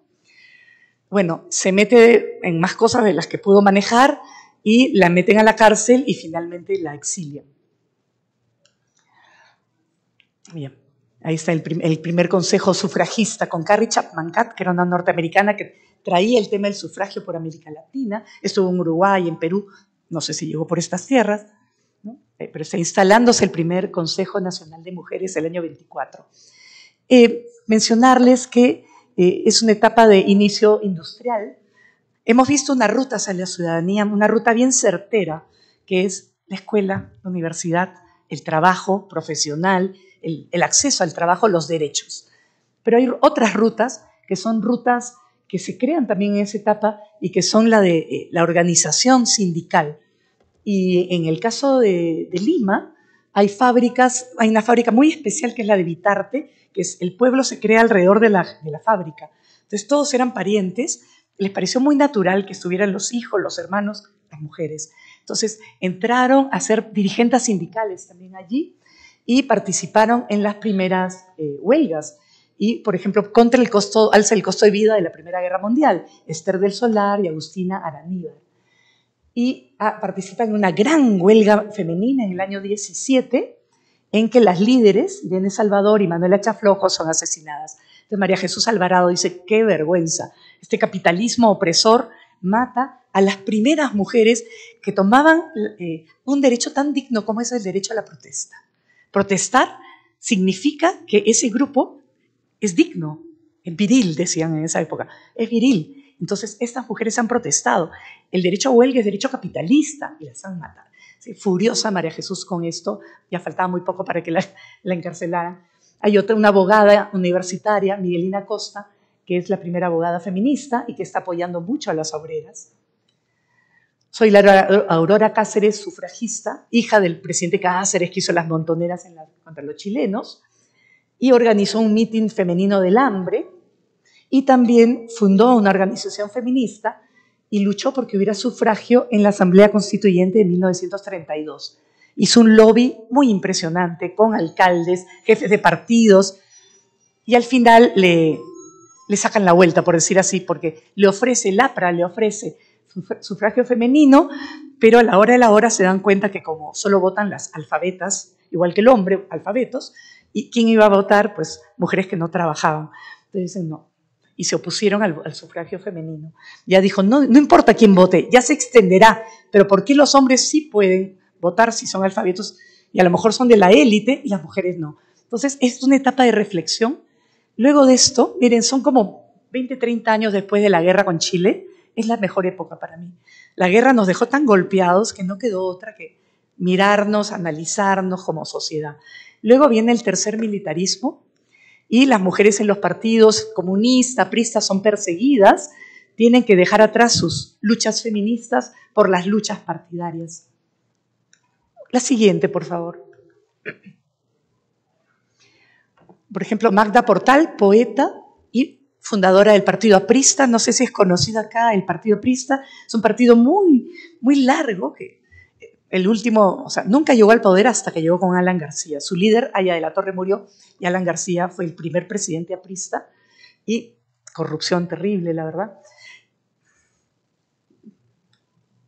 Y entonces ella, que era de las fundadoras y que era poeta, fundó una sección femenina y pedía el voto para las mujeres. O sea, ¿cómo pueden ser que le quieran dar voto solo a las trabajadoras? O sea, el voto, ¿y cómo para los hombres no es así? Tiene que ser igual. Entonces, eh, en un momento dado, ella se pelea con el líder, porque el líder dice, en el año 48, cuando ya la estaba muy asentado, dice, en verdad las mujeres no pueden ser militantes porque no son ciudadanas. Entonces, las mujeres habían dado su sangre por ese partido. ¿no? Allá la Torre manifestó, hemos llegado a la conclusión de que las mujeres, dado que en el Perú no votan, no pueden ser consideradas auténticos miembros del partido prista. Las mujeres solo son simpatizantes. Entonces ella dijo, ese es fascismo. Y se fue. No le dieron la palabra y se fue, renunció. Entonces ahí se hizo una serie de textos en que ella denuncia cosas. Siguiente, por favor.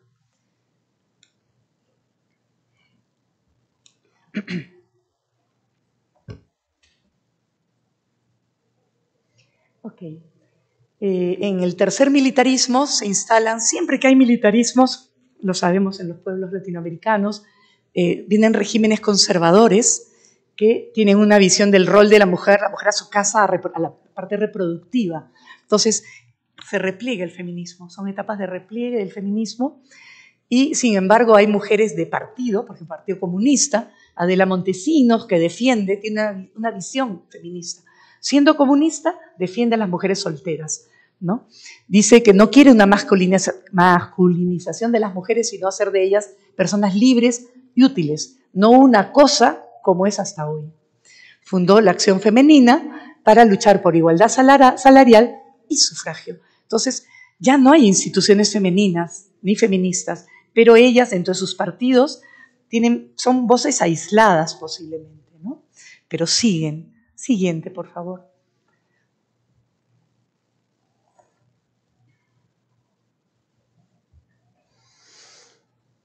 Eh, entonces, durante el tercer militarismo, ya el Perú era pues una vergüenza de los partidos, de los países últimos en dar el sufragio a la mujer. Y es para nuestra vergüenza, pese a haber tenido mujeres luchadoras del, por el sufragio, que es el dictador Manuel Odría, conservador, así garante de la, de la oligarquía, que convencido de que las que votan van a votar por él y su partido, da el sufragio femenino. Incluso decían algunos, no, eso va a ser un voto duplicado con el del esposo o un voto confesional por las fanáticas religiosas. Pero al final eh, se da el voto en el año 55 y eh, hay un grupo de mujeres de élite que capacitan en la radio cómo, qué es votar, qué hay que pensar, para, qué debe analizar una mujer para votar bien. Me pareció interesante. Y luego eh, vienen las elecciones y salen elegidas ocho mujeres. No es mucho porque eran 182 diputados, ocho mujeres, una senadora y siete diputadas. Y siempre hablaron de temas mm, no, no controversiales. Posicionaron el tema, no sé qué libros usaban ustedes en el colegio de educación para cuidar al bebé, esas cosas. Ella, eh, Irene Silva de Santolaya, los escribía. Y lo compraban en Chile, en otros países. La mujer, cómo de, empodera a la mujer como madre. Siguiente, por favor. Es una época de avance de mujeres en las profesiones, en las artes, las mujeres en la ciencia, ingenieras, pocas, claro. ¿no? Por ejemplo, yo tengo una tía, mi abuelo paterno sí creía que sus hijas mujeres podían ir a la universidad, mientras que mi mamá no la, dijeron, no la dejaron estudiar medicina, a eh, los hermanos de mi papá sí. Y entraron a, a la escuela de ingenieros, entró una, la quisieron hacer reina en la primavera y ella rechazó porque era la única mujer en la universidad. Luego entró otra y eh, a la tercera dijeron ya muchas, muchas mujeres, muchas se agarra de ninguna manera. Entonces, las, había, era, una estaba buena, dos podía ser, pero no muchas, ¿no? Confundía, complicaba. Entonces tenemos ya mujeres en las distintas eh, expresiones artísticas y literarias, pocas en la, en la ciencia, mujeres en los procesos de tomas de tierra, mujeres campesinas, podría ser otra ruta hacia ciudadanía, porque eran mujeres con un discurso bien coherente y, que se enfrentaban en las asociaciones de campesinos. Ustedes saben que las comunidades, yo he ido, he sido una vez madrina a un reservorio de agua potable, y como venía de Lima, me escogieron madrina, estaba una profesora del Cusco, pero las mujeres de la comunidad hacían la comida afuera. No entraban a la casa comunal, son sociedades muy patriarcales. Entonces, que las mujeres den discursos en los procesos de toma de tierra es bien interesante, ¿no? Eh, mientras en la, ciudad de Lima siguen pidiendo cuando a los militares, cuando vayas a la sierra, tráeme una indiecita, una sirvientita. Esa, figura se dio casi todo el siglo XX. Siguiente, por favor. Y bueno, en la etapa del feminismo, antes de eso, decir que eh, hay un golpe militar y aparece un, grupo de militares liderados por el ejército, pero está también la aviación y la marina, que son reformistas y dicen, si no queremos otra Cuba en el Perú, porque ya había guerrilla, hay que hacer reforma agraria. Y hace una reforma agraria sin mano militar, con muchos efectos, porque eh, malogró mucho de la parte moderna, pero generó una justicia social. Yo siempre me pregunto, ¿cómo hubiera sido el terrorismo sendero luminoso sin la reforma agraria? No estoy segura, pero me, parece que podría haber sido bastante peor. Bueno, los, los ciudadanos se convierten en parte del imaginario, vienen a las ciudades, son tomados en cuenta, sus organizaciones marchan, ¿no? Hay una reforma industrial, las fábricas también son repartidas, hay un montón de cambios, y, pero los militares eran patriarcales, la mujer a su casa, ¿verdad? Sin embargo, una noruega que yo tuve el gusto de conocer porque dirigió la ONG en la que yo trabajé muchos años, Helen Orvik, que se casó con Augusto Salazar Bondi, famoso filósofo peruano, eh, ella influyó en él. Él era un ideólogo de este gobierno militar. Hizo que el artículo 11 de la Ley General de Educación de los militares reformistas revalorara a la mujer. Los militares no entendían mucho para qué estaba el artículo 11, pero estaba ahí. Entonces Augusto Salazar Bondi hizo que se pusiera. Ella escribía en, en, Expreso muchos artículos y eh, ella logró, eh, había estudiado en la Sorbona, acá se había casado embarazada, su suegra la tenía, pero en la cocina, cuidando a los hijos, ella había estudiado en la Sorbona. Entonces dice que un día se hartó tanto que se fue, se fue a un hotel y empezó a hacer poesía en noruego y se liberó. Entonces empezó a escribir en Expreso, que era un diario. Dice, la mujer es dominada, dependiente y marginada. Ella podría ser suya esta revolución. Sin embargo, hasta ahora la revolución peruana no se identifica con la mujer. En su libro Comprendí por qué éramos tantos. Ella es una de las feministas de la nueva, de la segunda ola. Criticó la poca autonomía económica de las mujeres y que su vida se redujera a ser esposa y madre. Era muy influenciada por Simone de Beauvoir, Betty Friedan, entonces esta, era de las pocas mujeres en el Perú que leía esto, ¿no? Existencialismo y se cuestionaba. Entonces ella está de la mano de algunas mujeres que empiezan a marchar contra los concursos de belleza. Entonces le decían, ay, son envidiosas, son feas. Por eso no quieren que haya concurso de belleza. Están en contra de la mujer objeto sexual. Y yo he visto, hay un grupo de cineastas, el grupo Chasky, que entró a, ver el concurso de belleza que era mundial en Lima, en el Amauta. Y pero los descubrieron y los votaron. Y luego entrevistaron a líderes campesinas de Cusco que decían, mujeres, las campesinas, mujeres limeñas, mujeres norteamericanas, no desfilen en ropebaño, porque era invierno, en ropebaño junto a la pileta de la plaza. Ustedes no son objetos sexuales, no pueden. Había un nivel de claridad que mucho tuvo que ver con esta igualdad de la reforma agraria y con lo anterior, el acumulado, ¿no? Siguiente, por favor. Entonces, está surgiendo el feminismo. Muchas eran de izquierda, y eh, surge la segunda ola y va a coincidir, claro, con la década de la mujer de Naciones Unidas y la Convención sobre la Eliminación de todas las formas de discriminación hacia la mujer, la famosa CEDAW. Surgen Flora Tristán, Creatividad y Cambio, Alimuper, Manuela Ramos, y eh, es un movimiento muy cohesionado con vínculos con las mujeres de sectores populares que por la crisis económica fundaron Vaso de Leche, comedores populares autogestionarios y clubes de madres. Entonces había mucho vínculo, muchas escuelas de liderazgo, de manera que avanzaron en los sectores populares de ser solo mujeres que cocinaban a ser mujeres que reflexionaban sobre el liderazgo y el empoderamiento, sobre el cuerpo de la mujer, la píldora, qué sé yo. Entonces, todo esto hace que eh, se denuncie el patriarcado, el papel único de esposa y madre, ser objeto sexual, en favor de la píldora, derechos sexuales y reproductivos, y a partir de los 90 se incorpora la perspectiva de género. Y bueno, en los 90 entra al poder Fujimori, y Fujimori es un ser extraño porque tiene un radar para captar populismo. Entonces va a la conferencia en Beijing, es el único hombre que va, el único presidente hombre que va a Beijing. Y cuando regresa dice que crea un ministerio para las mujeres, pese a lo cual él dirige las esterilizaciones forzadas. ¿Cómo hacemos para que los hayan menos niños pobres? Se podría hacer capacitaciones, ¿no? Eso tarda mucho tiempo. Más rápido es y les, les, les decían que no les iban a dar píldoras, sino venían a esta pequeña intervención que les iban a hacer. Hay muchas víctimas de eso mujeres que quedaron dañadas, que ya no pudieron usar el telar de cintura. Hay mucha, mucha, una inglesa ha hecho mucha investigación y tesis sobre estas mujeres, cómo quedaron después, cómo es que las llevaron, con letra chiquitita, mujeres que casi no, casi no leían, eh, y rápidamente decidir, hombres, esposos que le decían, sí, anda, y luego quedaron mal, eh, a veces mujeres que no habían tenido ni un hijo todavía, complicado, ¿no? Entonces, este Fujimori da el Ministerio de la Mujer, que es un elefante inmenso, con un montón de sectores, discapacidad, este, animales, eh, comedores populares clientelizados y mujeres en general. Entonces, eh, viene la época de Sendero Luminoso, que se, enfrenta, se ve enfrentado al venir del campo a la ciudad por las organizaciones sociales de base. Mujeres líderes le dicen no a los paros armados. Entonces, muchas son asesinadas tenemos muchas heroínas ahí. Tenemos a Marilena Moyano, Pascuala Rosado, mujeres que yo algunas la llegué, a Marilena Moyano la llegué a conocer. Era, ya venía a hablarnos y estaba rodeada de una guardia de mujeres. Decía, pero ¿por qué?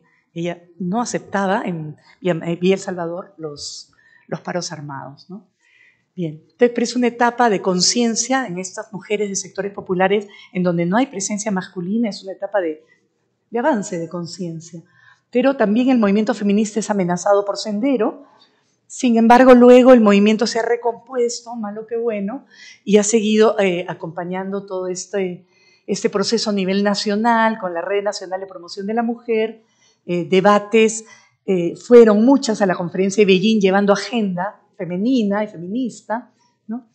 y algunas acompañaron, le creyeron a Fujimori y estuvieron con él en lo de la campaña de planificación familiar, y otras estuvieron en el lado opuesto vigilando, haciendo vigilancia ciudadana y descubriendo lo de las esterilizaciones. Siguiente, por favor. Ya estoy terminando. Bien, eh, desafíos.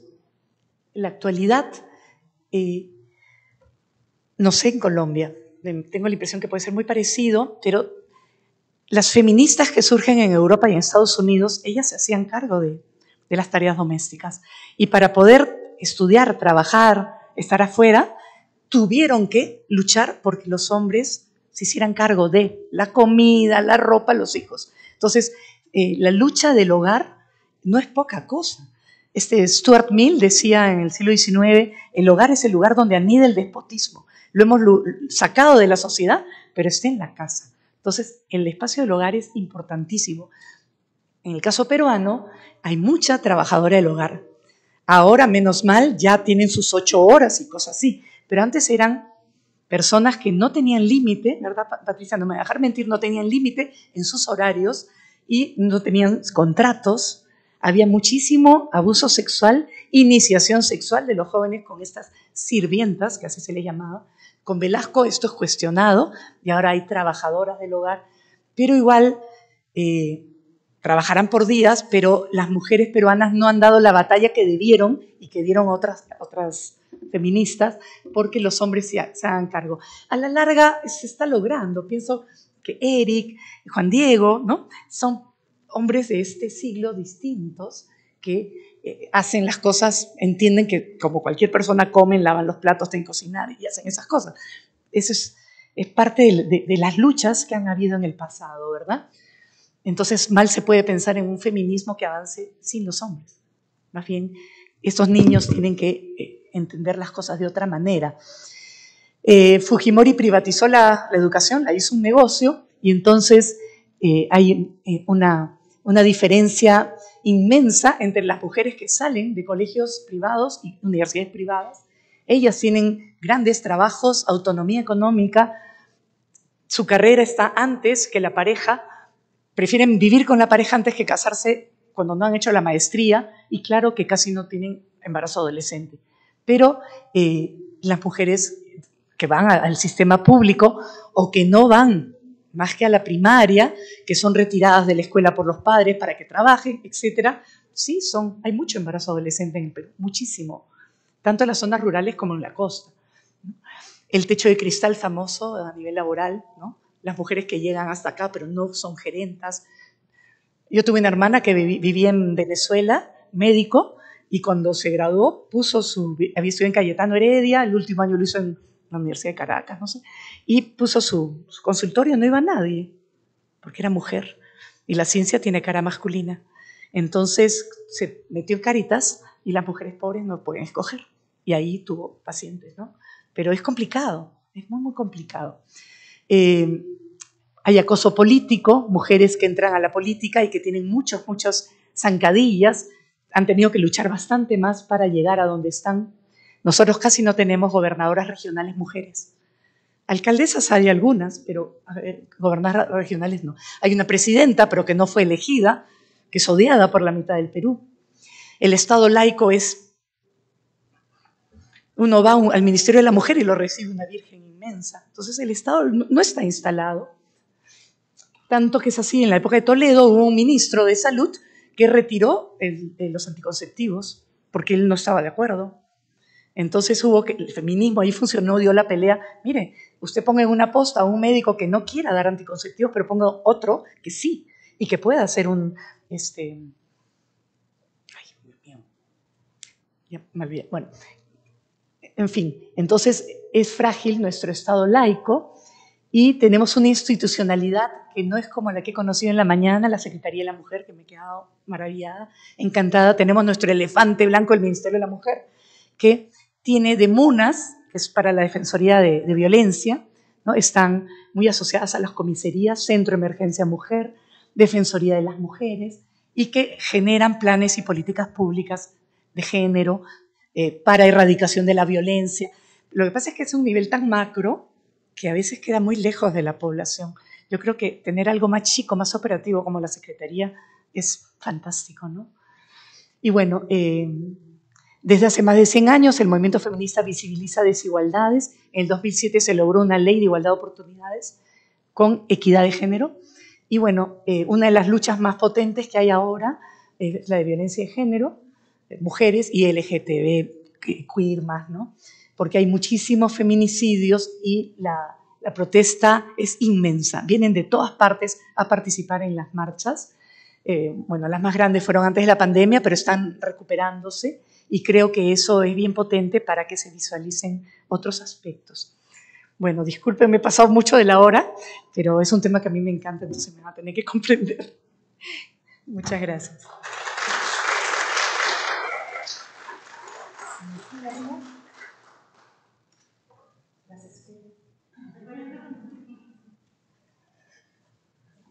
Maestra, muchas gracias. Eh, vamos a tener una pequeña intervención de reconocimiento a aquellas mujeres colombianas y en especial antioqueñas que hicieron camino para el logro de derechos civiles o ciudadanos por la doctora Gloria Isabel Muñoz Castalleda, magíster en estudios políticos e historiadora, en experiencia en acompañamiento psicosocial a grupos y organizaciones de víctimas del conflicto armado colombiano a partir de procesos de memoria histórica, garantías de no repetición y cultura y paz. Bienvenida, doctora.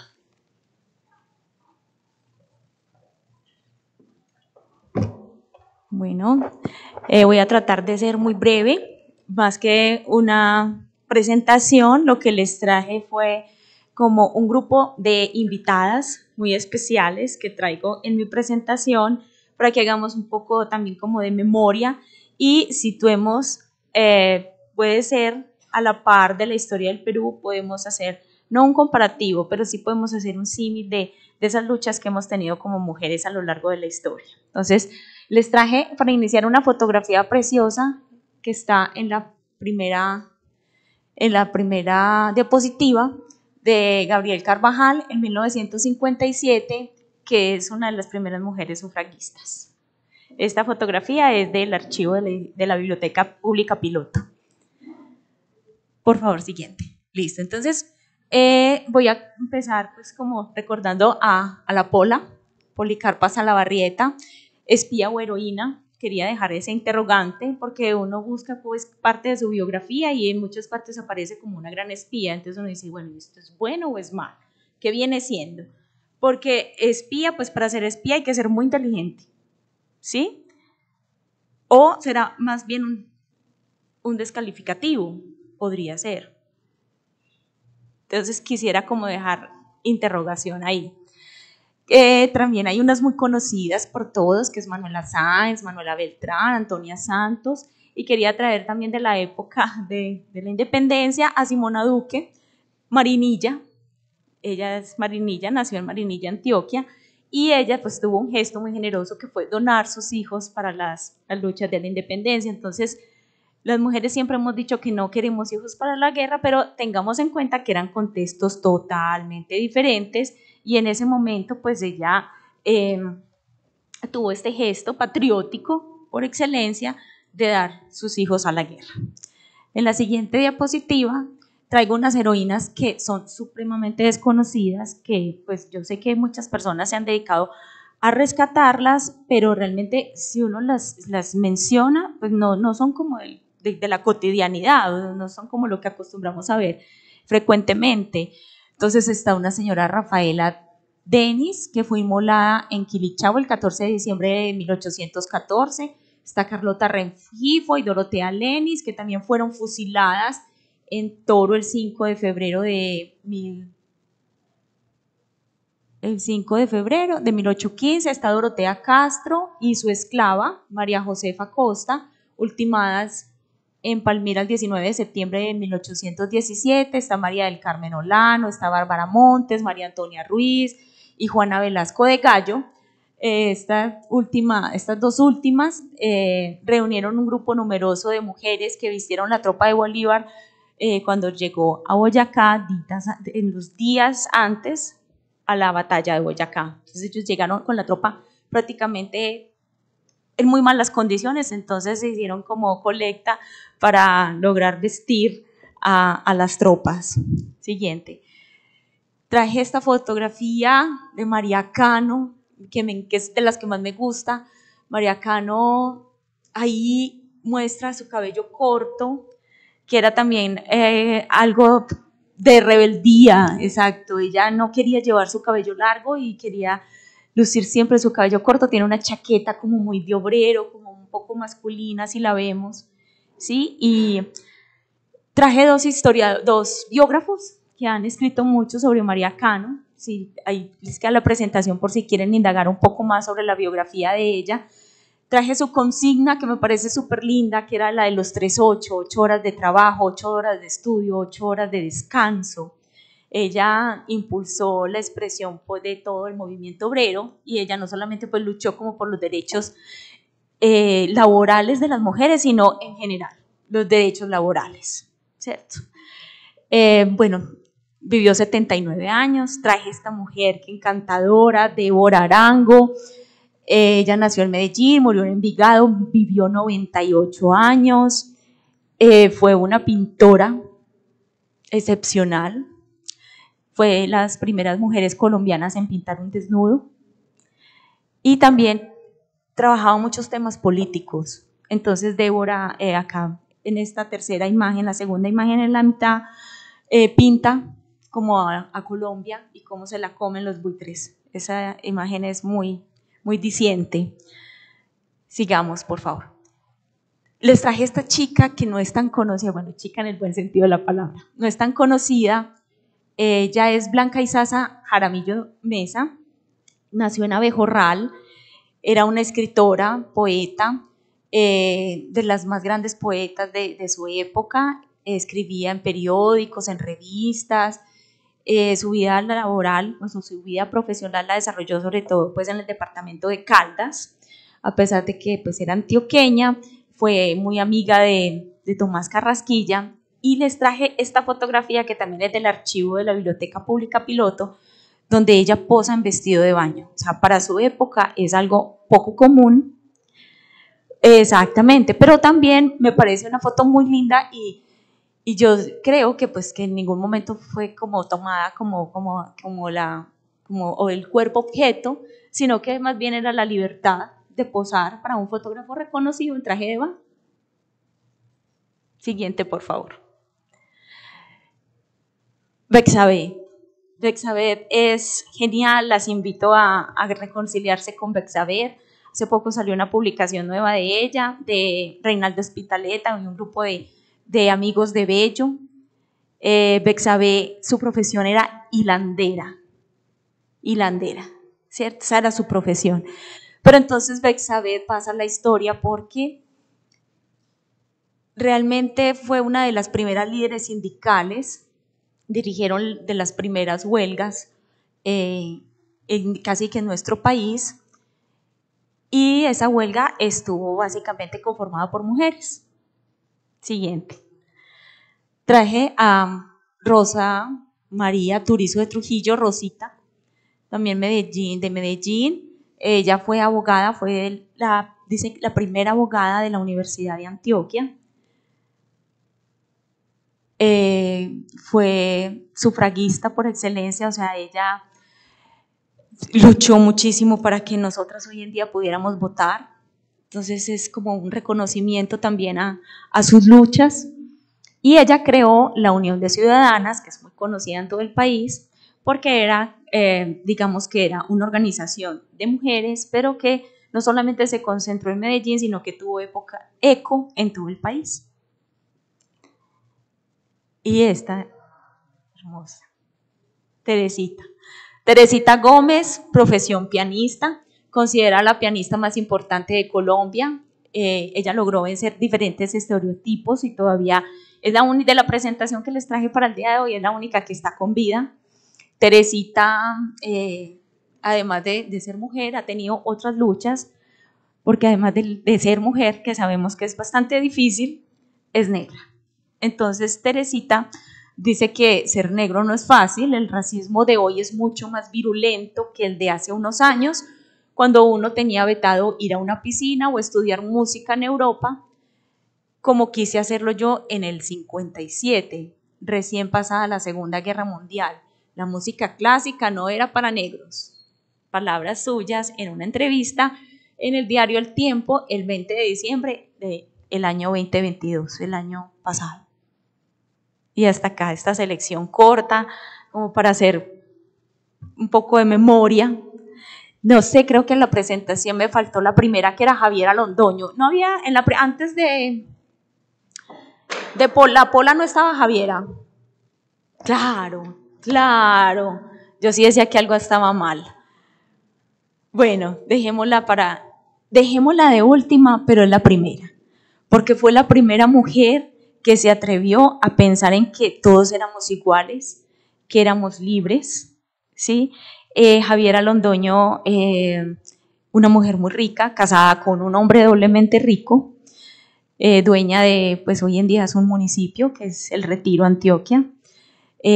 Javiera Londoño se reunía en las noches en su casa privada con sus esclavos, bailaba, danzaba, tomaba, se abrazaba con sus esclavos y dejó una inmensa fortuna. Entonces Javier Alondoño eh, no tenía herederos, pero tenía un sobrino y tenía un cura muy ambicioso que la rodeaba, que era como, me imagino que era su guía espiritual.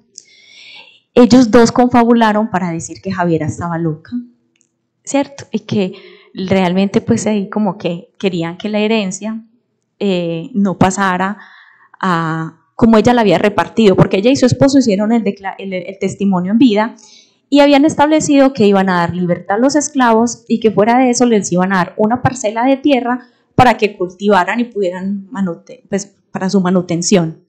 Entonces fue una pelea muy dura, muchos juicios y se logró determinar de que efectivamente ella estaba en sus cabales cuando había hecho su testamento y efectivamente eh, sus esclavos quedaron libres. Fueron como muchas luchas de, nosotros, de los historiadores que han escrito sobre la Javiera para demostrar que efectivamente no estaba loca. Y ahí con eso termino. Muchas gracias.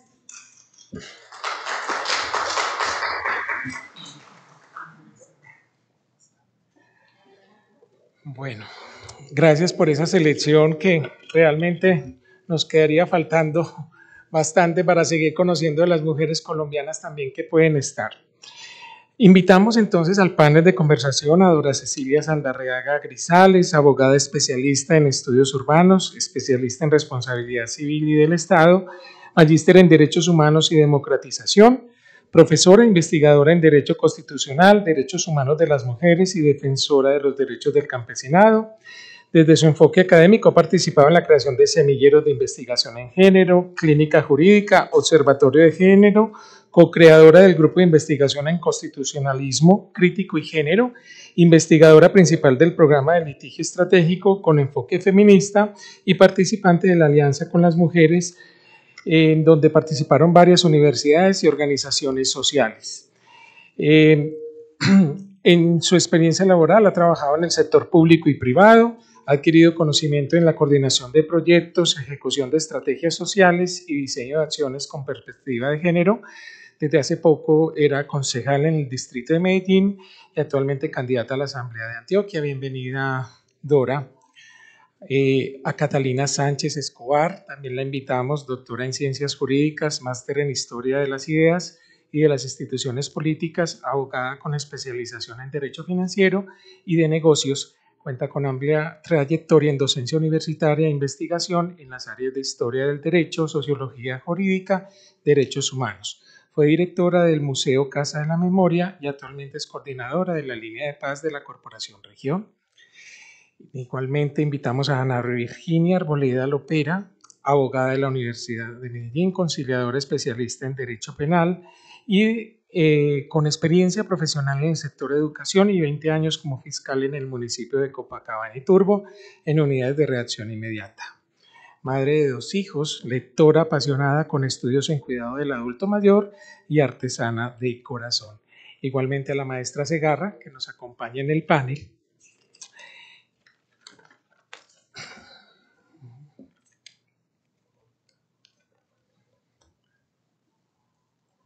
Bueno, vamos a hacer un panel de conversación sencillo entre ustedes y de pronto alguna pregunta o inquietud de alguna de las personas que nos acompañan. Igualmente, si alguien por el, el canal de YouTube tiene alguna pregunta, con mucho gusto la puede escribir y aquí la podemos transmitir. Eh, iniciemos entonces como un poco como este proceso histórico que nos muestran ambas, digamos, este relacionamiento de la maestra Margarita Segarra y también lo que entrega Gloria. ¿Cómo podemos empezar a mirar este presente? ¿Cómo, cómo miramos ese pasado y cómo lo comparamos con nuestro presente actual.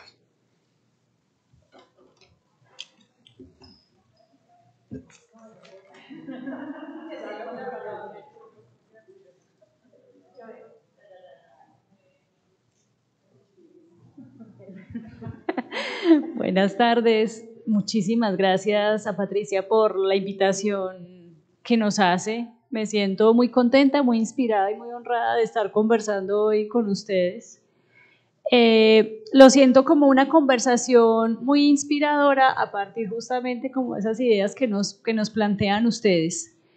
Eh, afortunadamente la historia ha ido mostrando cómo las mujeres vamos tomando las riendas en estos asuntos, si bien estábamos reservadas a lo privado y a lo íntimo, al cuidado de la casa, de los hijos, eh, a la solución de esos pequeños conflictos eh, del hogar, las mujeres hemos tenido históricamente una participación importante en la política, aunque muchas veces fue por debajo y desconocida. No en vano la escena que nos mostrabas de dar a sus hijos para la guerra, pero también el papel que jugaron las manuelas, eh, las rosas, tanto la peruana como la, la ecuatoriana, cómo aprovechaban también esas posiciones, esas conversaciones y por qué no, pues el, conocimiento y la cultura que tenían para sugerirle, normalmente era a sus maridos, para que obraran o tomaran decisiones, pero así poco a poco, pues logramos tener nosotros también participación importante la rebelión de los comuneros, cómo las mujeres también se iban uniendo a las causas a veces apoyando, secundando a sus maridos, pero también en otras como asosando, pues, o, un poquito prendiendo la mecha en otras. Eh, hoy en día vemos que tenemos un protagonismo, pues ya por lo menos somos visibles y no, no nos, pues, diría que no nos opacan, pero vamos a discrepar, ¿cierto? Pero por lo menos ya sí podemos tomar el micrófono y tener esta conversación que sería impensable hace unos cuantos eh, cientos de años. Eh, de hecho, ahorita escuché algo que decía, no, van a ir a hablar solo mujeres, amigo, justamente, venga, venga, que es que vamos a decir cosas supremamente importantes. Entonces, menos mal ha cambiado y ya podemos tomar el micrófono, alzar la voz y que nos escuchen. Sin embargo, si nosotros revisamos nuestra participación política, primero mucho más lenta que en el, que en el Perú. En el 32 se nos reconoce eh, personería, puede ser sujetos de derecho, pero apenas en los 50 del siglo pasado logramos tener derecho al voto. Entonces somos un poco más, sí, 57, sí. Ah, bueno. Pero ustedes empiezan a tener un ejercicio, una participación un poco más activa que real. Fue más lento, pero fue más, pero nosotros empezamos más tarde, empezamos más tarde ese ejercicio de, de realización.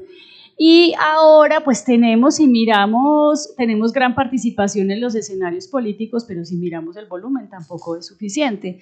En Medellín tenemos hoy, ya se me olvidaron, 15 candidatos a la alcaldía y tenemos, pero tampoco es mucho. O sea, ¿qué es eso? Tres.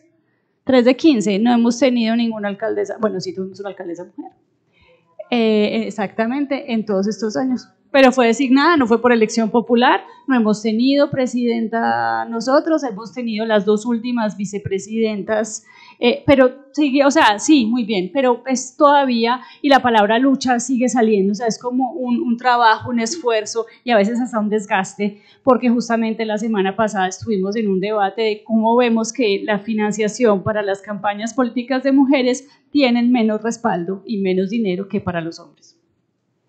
Entonces es, hemos evolucionado, hemos logrado subir peldaños y alcanzar eh, lugares de elección popular y de representación, pero seguimos estando un poco eh, atrás, o sea, seguimos estando en deuda con nosotras mismas y nos sigue costando mucho generar esos espacios y que nuestra voz sea, sea alcanzada. Y un reconocimiento a todas estas mujeres que nos faltaron un montón por mencionar, pero si no fuera por ellas, que a pesar de esas dificultades, iban logrando sacar un poco las uñas y revolucionar por la educación, ni qué decir de las mujeres que íbamos a estudiar derecho, que tuvieron que crear unos libros distintos para estudiar derecho, porque no podían estudiar el mismo de los hombres. El derecho civil no les podían, no les podían enseñar que tenían los derechos, entonces las materias no eran los mismos, así como hablado de, la medicina, los libros no eran los mismos, se demoró muchísimo porque los tenían que editar en Europa, traerlos acá, que no tuvieron, o sea, gracias a ellas hoy estamos nosotras cinco aquí conversando y, reflexionando un poco y cuestionándonos también de qué podemos hacer desde cada uno de nuestros espacios. Exactamente, sí. Vimos la foto de que de una sola, ¿cierto? Solo vimos una mujer en todos los retratos que, que vimos ahora en la tarde. Bueno, eh, yo me he desempeñado pues dentro del ámbito jurídico en más tiempo como fiscal. Desde esa perspectiva les voy a, les voy a decir, eh, jurídicamente hemos logrado hacernos ver. En la práctica, en la rama judicial, nos hacemos ver. Pero la cuestión es que las mujeres que nos metemos en esas lides, tenemos que ser muy valientes, porque siempre habrá esa resistencia a la mirada de una mujer frente a la mirada de un hombre en un aspecto jurídico. Es más, todavía nos dicen histéricas, todavía dicen que somos llevadas de, nuestro parecer, que vinimos con la regla a trabajar, que, horrible trabajar con mujeres. Eh, todavía se escucha en los corredores eh, toda descalificación por el pensamiento femenino. Sin embargo, además del pensamiento, nos acompaña la disciplina, nos acompaña el orden, nos acompaña la capacidad de estudiar y tímidamente, pero lo hemos logrado, encontramos nuestra voz, que es algo que nos demoramos mucho desde lo femenino, desde cuando yo era niña, poder hablar era bastante complicado porque primero tenía la voz, pues el hermano, o los tíos o los papás y después el resto de mujeres. Pero gracias a Dios yo vengo de un eh, de una estirpe de mujeres muy aguerridas que siempre hemos tenido el valor de enfrentarnos al mundo masculino. Y eso ha hecho que podamos mirar con bondad el futuro, porque la disciplina, la persistencia y el valor nos ha mostrado que podemos hacernos notar, que tenemos voz y que somos capaces de argumentar, de pensar, de crear un discurso y de, si es el caso, defendernos, aunque evidentemente, pues la batalla de ser mujer es desde lo biológico, desde la diferencia, y entonces eh, vamos a tener siempre esa eh, discrepancia por el género, pero igual eh, vamos a tener que seguir creciendo. Como les digo, la rama judicial está muy permeada por, el, el poder femenino, por la formación jurídica femenina que ha sido capaz de ubicarse dentro de los parámetros masculinos, dentro de las capacidades femeninas y con disciplina y persistencia, ahí nos vamos viendo. Todos los días vamos a ver muchas más mujeres en las facultades, muchas más mujeres ejerciendo, muchas más mujeres retornando a lo que realmente queremos ser, muchas mujeres conquistando nuestra propia voz y así veo yo el desarrollo de esta sociedad. Se necesitan mujeres para todo no solo profesionales, para poder mirar nuestra sociedad con esperanza, tenemos que valorar a las mamás, a las hermanas, a las tías, a todas las que hemos logrado ser profesionales y a las que no, les tenemos que seguir dando valor para que luchen por ellas mismas, para que podamos seguir adelante. Muchas gracias.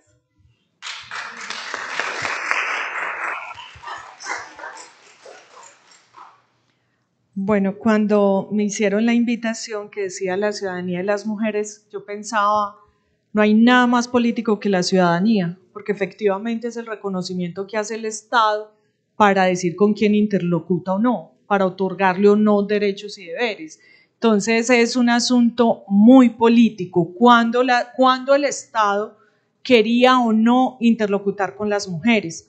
Yo soy profe de Derecho Constitucional, también me he metido y cuando hablabas, yo decía, claro, yo he sido insurrecta toda la vida, fue que después le puse feminismo, pero eh, desde mi origen campesino siempre me opuse a la exclusión, me opuse a, pero no le podía dar nombre porque no entendía como qué era lo que me incomodaba, qué era lo que me molestaba, luego le puse teoría, pero, pero creo que, que antes de eso la inconformidad ha hecho que las mujeres seamos muy insurrectas en todos los espacios, en lo privado, en lo público, luego poder ir logrando otros espacios, pero, pero creo que eso también está muy desde, desde nuestra subjetividad. Eh, el tema de, de, poder plantear, que Eric nos decía, bueno, eh, toda esa historia, ¿cómo lo pongo en el contexto actual? Yo soy un poquito más crítica y pesimista, yo digo, vea, muy chévere, hemos avanzado mucho tenemos normas, todo lo que usted quiera, pero en la práctica, lo que planteaba una teórica, la ciudadanía plena, todavía no la tenemos.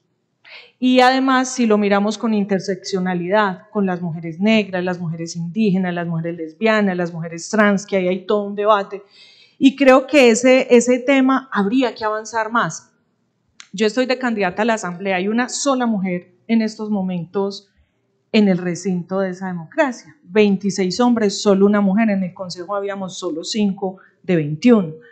Y entonces nos postulamos muchas, yo aquí veo candidatas y todo, nos postulamos muchos, pero la subjetividad en términos es lo mismo y por eso soy una defensora de las acciones afirmativas, de las decisiones de facto, hay que empujar más mujeres para que podamos llegar, porque no hacemos de la misma forma la política, nos toca con las uñas.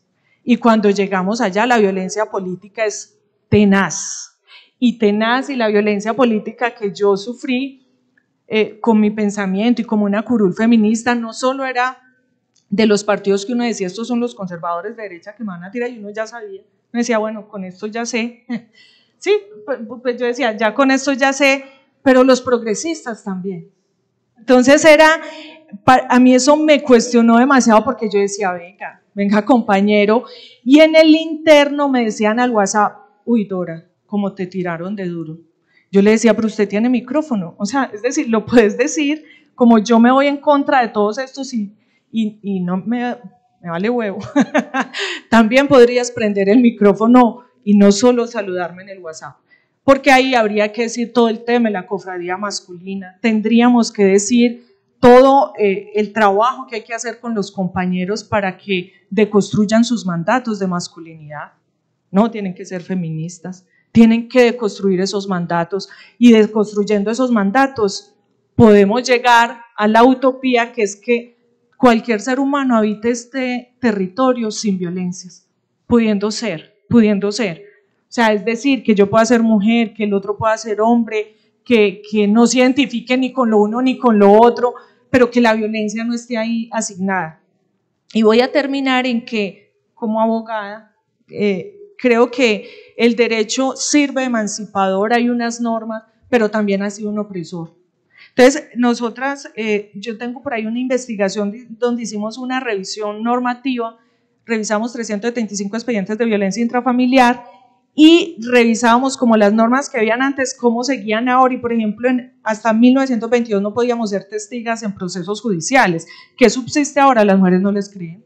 El acoso sexual en las universidades es un mito y todos sabemos quiénes son los acosadores. No les creen, no les creen. El tema, por ejemplo, para no decir muchas normas y terminando, el que me pareció muy teso, el de 1988, el apellido de mujer casada. O sea, no era nada simbólico, era muy material. Pasaban del papá para el esposo. Pero aunque las normas se han ido deconstruyendo, tenemos normas para proteger los derechos humanos de las mujeres, yo solo diría, vaya, aplíquelas. porque, porque la lucha feminista y el año pasado nos la dimos toda por los protocolos de acoso en las universidades. Eh, evaluemos cómo se han ido aplicando esos protocolos. Entonces, yo creo que hemos avanzado mucho formalmente, o sea, hay normas para todo, la Corte ha hecho una avanzada muy importante, pero la deconstrucción de esa subjetividad, donde esos valores están ahí todavía jerarquizados, yo creo que nos falta un poquito. Muy terrible mi análisis. ¿Puedo agregar algo? El principal problema al que nos enfrentamos los operadores judiciales, en el caso de las violencias de género que incluyen la violencia contra la mujer, es, eh, en primer lugar, el desistimiento. Porque eh, después de que pasa la furia, después de que se borra el morado, después de que sale de la clínica, eh, nos vamos para Europa, nos vamos a... Es como si fuera una compra o como si ya no fuera importante para la mujer ejercer el derecho. Y la otra cuestión a la que nos enfrentamos es a la parsimonia de, los eh, expedientes, de cómo hay que hacer una investigación y en realidad todo lo que hay normativo es muy eficiente desde la norma. Lo que nunca han contado es que para cada fiscal no hay un investigador. Para tres fiscales hay un investigador. Lo que no nos han dicho tampoco es que las violencias tienen unas unidades especiales en las que no caben los procesos iniciados porque después hasta cambian de barrio, hasta cambian de teléfonos, hasta se genera un feminicidio, desaparecen y no tenemos cómo ubicar. Y eso nace desde lo que yo les decía, desde la persistencia de las mujeres. Esa es la parte que le hace falta a la normatividad. Tenemos normas para todo, pero todavía no nos las creemos, o todavía no las conocemos, o todavía tenemos el miedo eterno a ejercer nuestros derechos.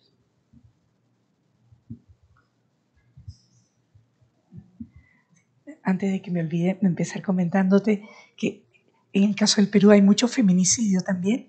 Inclusive tenemos el honor de ser el primer país en violación. Entonces, eh, muchas feministas, así como decía en el Perú, eh, qué sé yo, el maíz morado o el Perú, la textilería, el Perú, el Perú, país de violadores, pusieron como hashtag. Una política, una congresista, le dieron de todo. Pero, ¿pero por qué? O sea, ya que estamos en rankings, tómenselo en serio, ¿no? Somos el primer país de violadores en América Latina, de violaciones. Y, y sí, hay que hacer esa historia también. Hay que pensar esos temas, aunque no haya muchas fuentes, preguntar, hacer libros quizá. Pensaba yo, de historia que, nos, que tengan el rigor académico, pero que también posibiliten hacer preguntas que quizá no esté el documento de respuesta. El Capacñán, el Camino Incaico, ¿había violación en el Camino Incaico? No sé, estoy improvisando, pero hay que pensar en, esos cuerpos, en esas personas. Después estaba pensando en cuando tú comentabas que desisten. Y, digamos, y si no desisten, ¿qué garantías tienen realmente? ¿Cuánto tiempo eh, el Estado los protege? En Colombia eh, los derechos de la mujer son de aquellos derechos que tienen un plus, son unos derechos fundamentales muy bien protegidos por todo lo que sea externo a la propia mujer. Porque normas hay, protocolos hay, en cuanto a una mujer violentada, se genera inmediatamente que ella dé a conocer a las autoridades un eh, protocolo y dentro de ese protocolo está darle a conocer de viva voz los derechos que tiene.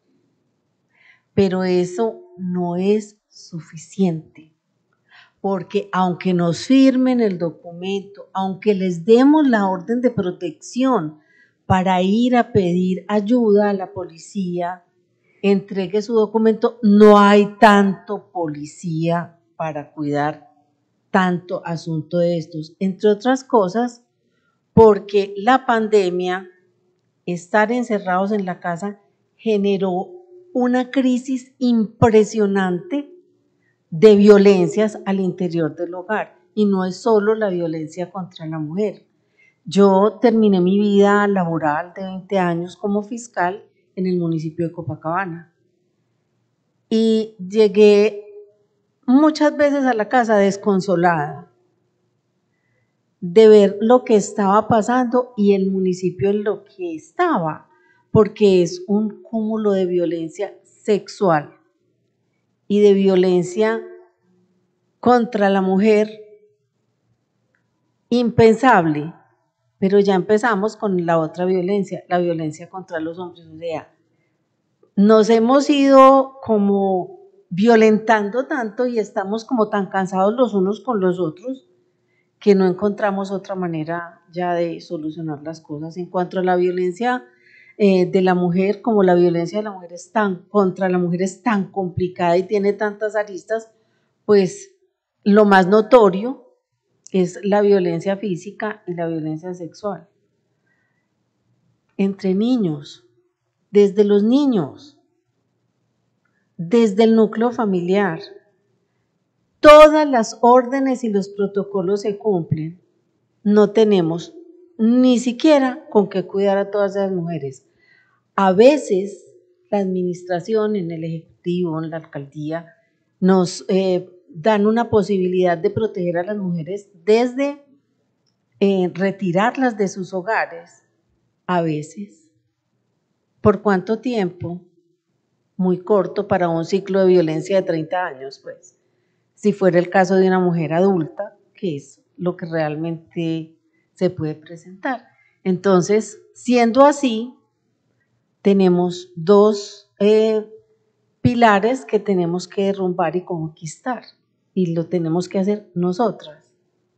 porque nosotras somos las encargadas de ir sembrando en nuestras eh, pares, mujeres, esa semilla de proteges, protéjase, cuídase, haga, estudie, conozca y ejecute, porque casi siempre nos quedamos sin ejecutar.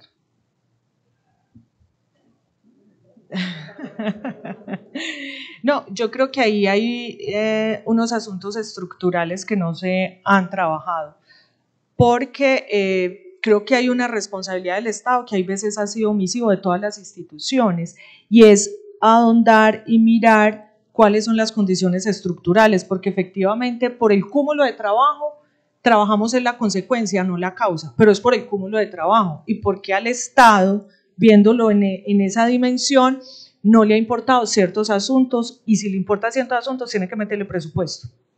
Porque yo difiero, por ejemplo, y lo digo desde el ejercicio que hice en el Consejo, entonces que, que el 25, todos demorados, no sé qué, y miramos el presupuesto y es un... Es de, es de entonces no tenemos una apuesta efectivamente por el 52% de la población. Y siempre discutía con el secretario de Seguridad cuando él decía, mire, estos son los delitos de alto impacto. Entonces, los delitos de alto impacto son los que van a generar la política criminal y la política criminal es la que me le van a dar presupuesto para poder intervenir. Si yo considero que el delito de alto impacto es el hurto de motocicletas, yo le voy a meter toda la fuerza investigativa y le voy a meter plata. Violencia intrafamiliar, aunque terminamos casi como con, no sé si es 12 mil o 6.000 medidas de protección en la ciudad no es un delito de alto impacto y el hurto de, de motocicletas es menor. Simbólicamente, a mí no me vengan a decir que el Estado le interesa ese caso, no son delitos de alto impacto. Entonces, hay un asunto estructural. ¿Por qué desisten las mujeres? También hay unas dependencias económicas. Entonces, habría que resolverlo no solo con la denuncia, habría que tener todo un acompañamiento para que pueda salir del círculo de la violencia porque no es tan fácil. Ese tema del amor romántico nos mató. Y, nos mató físicamente con el feminicidio, o sea, nos mata físicamente. Entonces, son un mundo de estructuras que deben de intervenirse y que en eso estoy consciente, en que eso no se resuelve con una denuncia, que es un asunto muy fundamental, pero que estructuralmente el Estado no ha visto la violencia contra las mujeres como una política pública importante para intervenir y meterle presupuesto. Bueno, pues, ¿qué quisiera aportar yo? Es como mi visión personal de todo este incremento de feminicidios que se ha venido presentando en nuestro país y, y a nivel de América Latina. Y me pongo a pensar en, en, en esas redes de apoyo, en esas redes de apoyo que a veces las mujeres no logramos construir de manera eficiente, y muchas veces pensamos que papá Estado eh, tendría como la, la, responsabilidad y de hecho la tiene, pero también desde el campo privado o individual, ¿qué estamos haciendo con nuestras redes de apoyo? ¿Cierto? Entonces, yo creo que nos falta construir redes de apoyo entre nosotras más fuertes, ¿sí? Ese tema de, de juntarse, que está muy de moda esa palabra, deberíamos de ponerla en práctica, porque no debería de ser una moda, o sea, es juntarnos generar redes de apoyos reales para temas de violencia, por ejemplo, contra, contra la mujer, que es real, no es un mito, no están las leyes, no están los casos, no están los expedientes, es algo que vivimos en nuestras cotidianidades. Y pues igual, eh, yo pienso también como desde mi formación de historiadora, y es que siempre nos han, digamos, eh, señalado por, por, por algunos eh, intentos de juntarnos, no me, vámonos lejos, vámonos a la Edad Media, ¿cierto? Cuando se reunían muchas mujeres, eso era muy peligroso, ¿cierto? Llamados a, querral, a querrales, ¿cierto? Eso es muy peligroso, entonces siempre se vio mal esa reunión de mujeres, ¿cierto? Eh, esa, ese juntarse es porque no están planeando nada bueno, ¿sí? Y de hecho la Santa Inquisición eh, castigó ese tipo de comportamientos, ¿cierto? La mujer es de su hogar.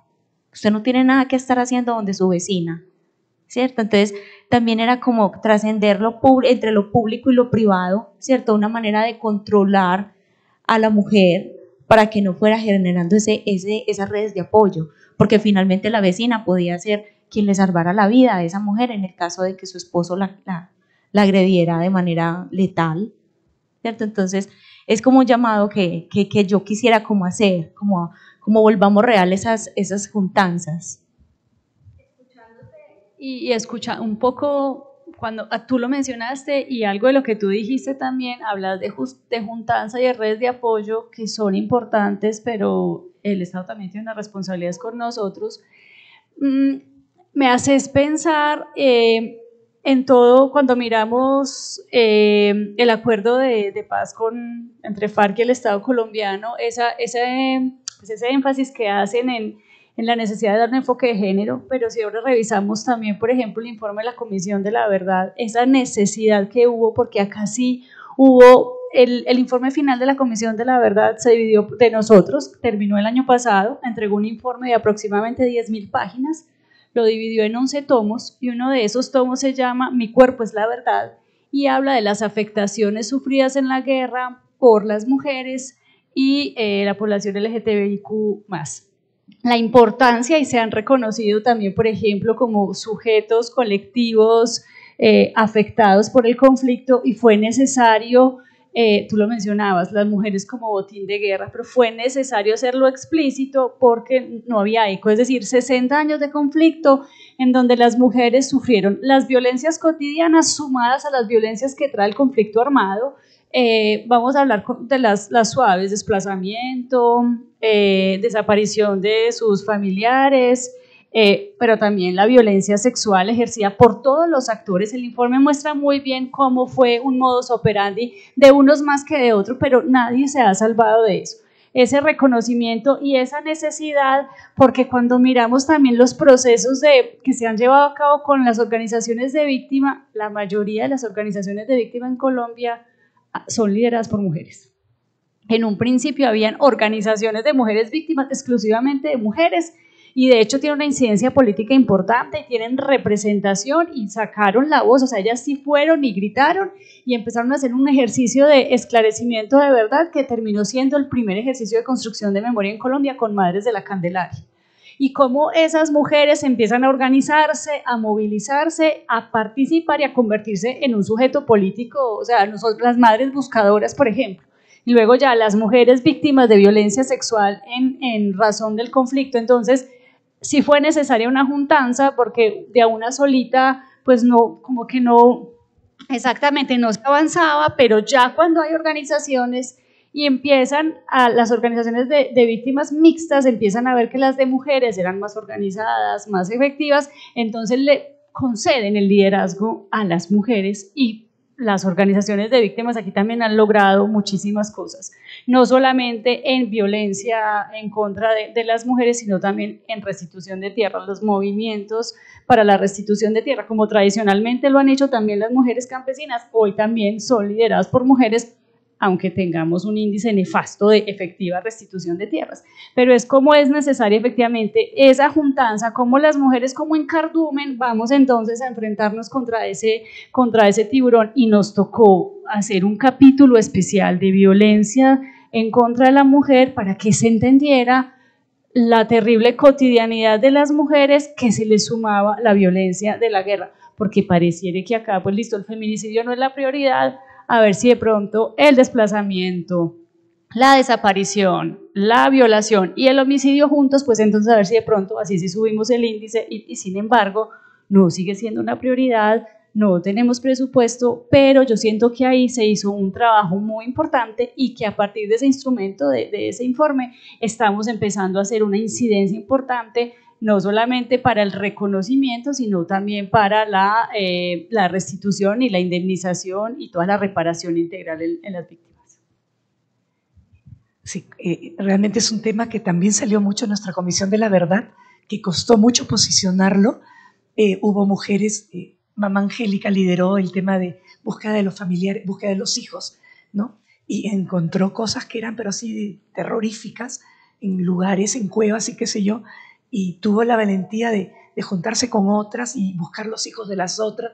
Y eso como ser madre les abrió un espectro, pero la verdad es que hay que ver el tema de por qué los cuerpos de las mujeres quechohablantes, en el caso del Perú, las más pobres, fueron eh, pasto de todos los grupos. Y entonces, eh, ¿qué pasa después de que esos soldados vuelven? Eh, yo tuve una cercanía con una amiga que se casó con un infante marina que había ido cuatro veces a Ayacucho. Y a la cuarta vez ya era un monstruo. Y tuvo que sacar a su niña de esa familia porque hasta la niña... sea, es, ¿Cómo vuelven esos soldados? ¿Qué pasa con el ejército? ¿Cómo es la violencia en el postconflicto? Porque esa gente no es la misma, ni la víctima, ni el ejército, o la policía, o los infantes, o la guerrilla, o sendero. Entonces, todos esos grupos de hombres machos encuentran esa capacidad de servilizar, violentar a las mujeres. ¿Y cómo no lo estamos tratando?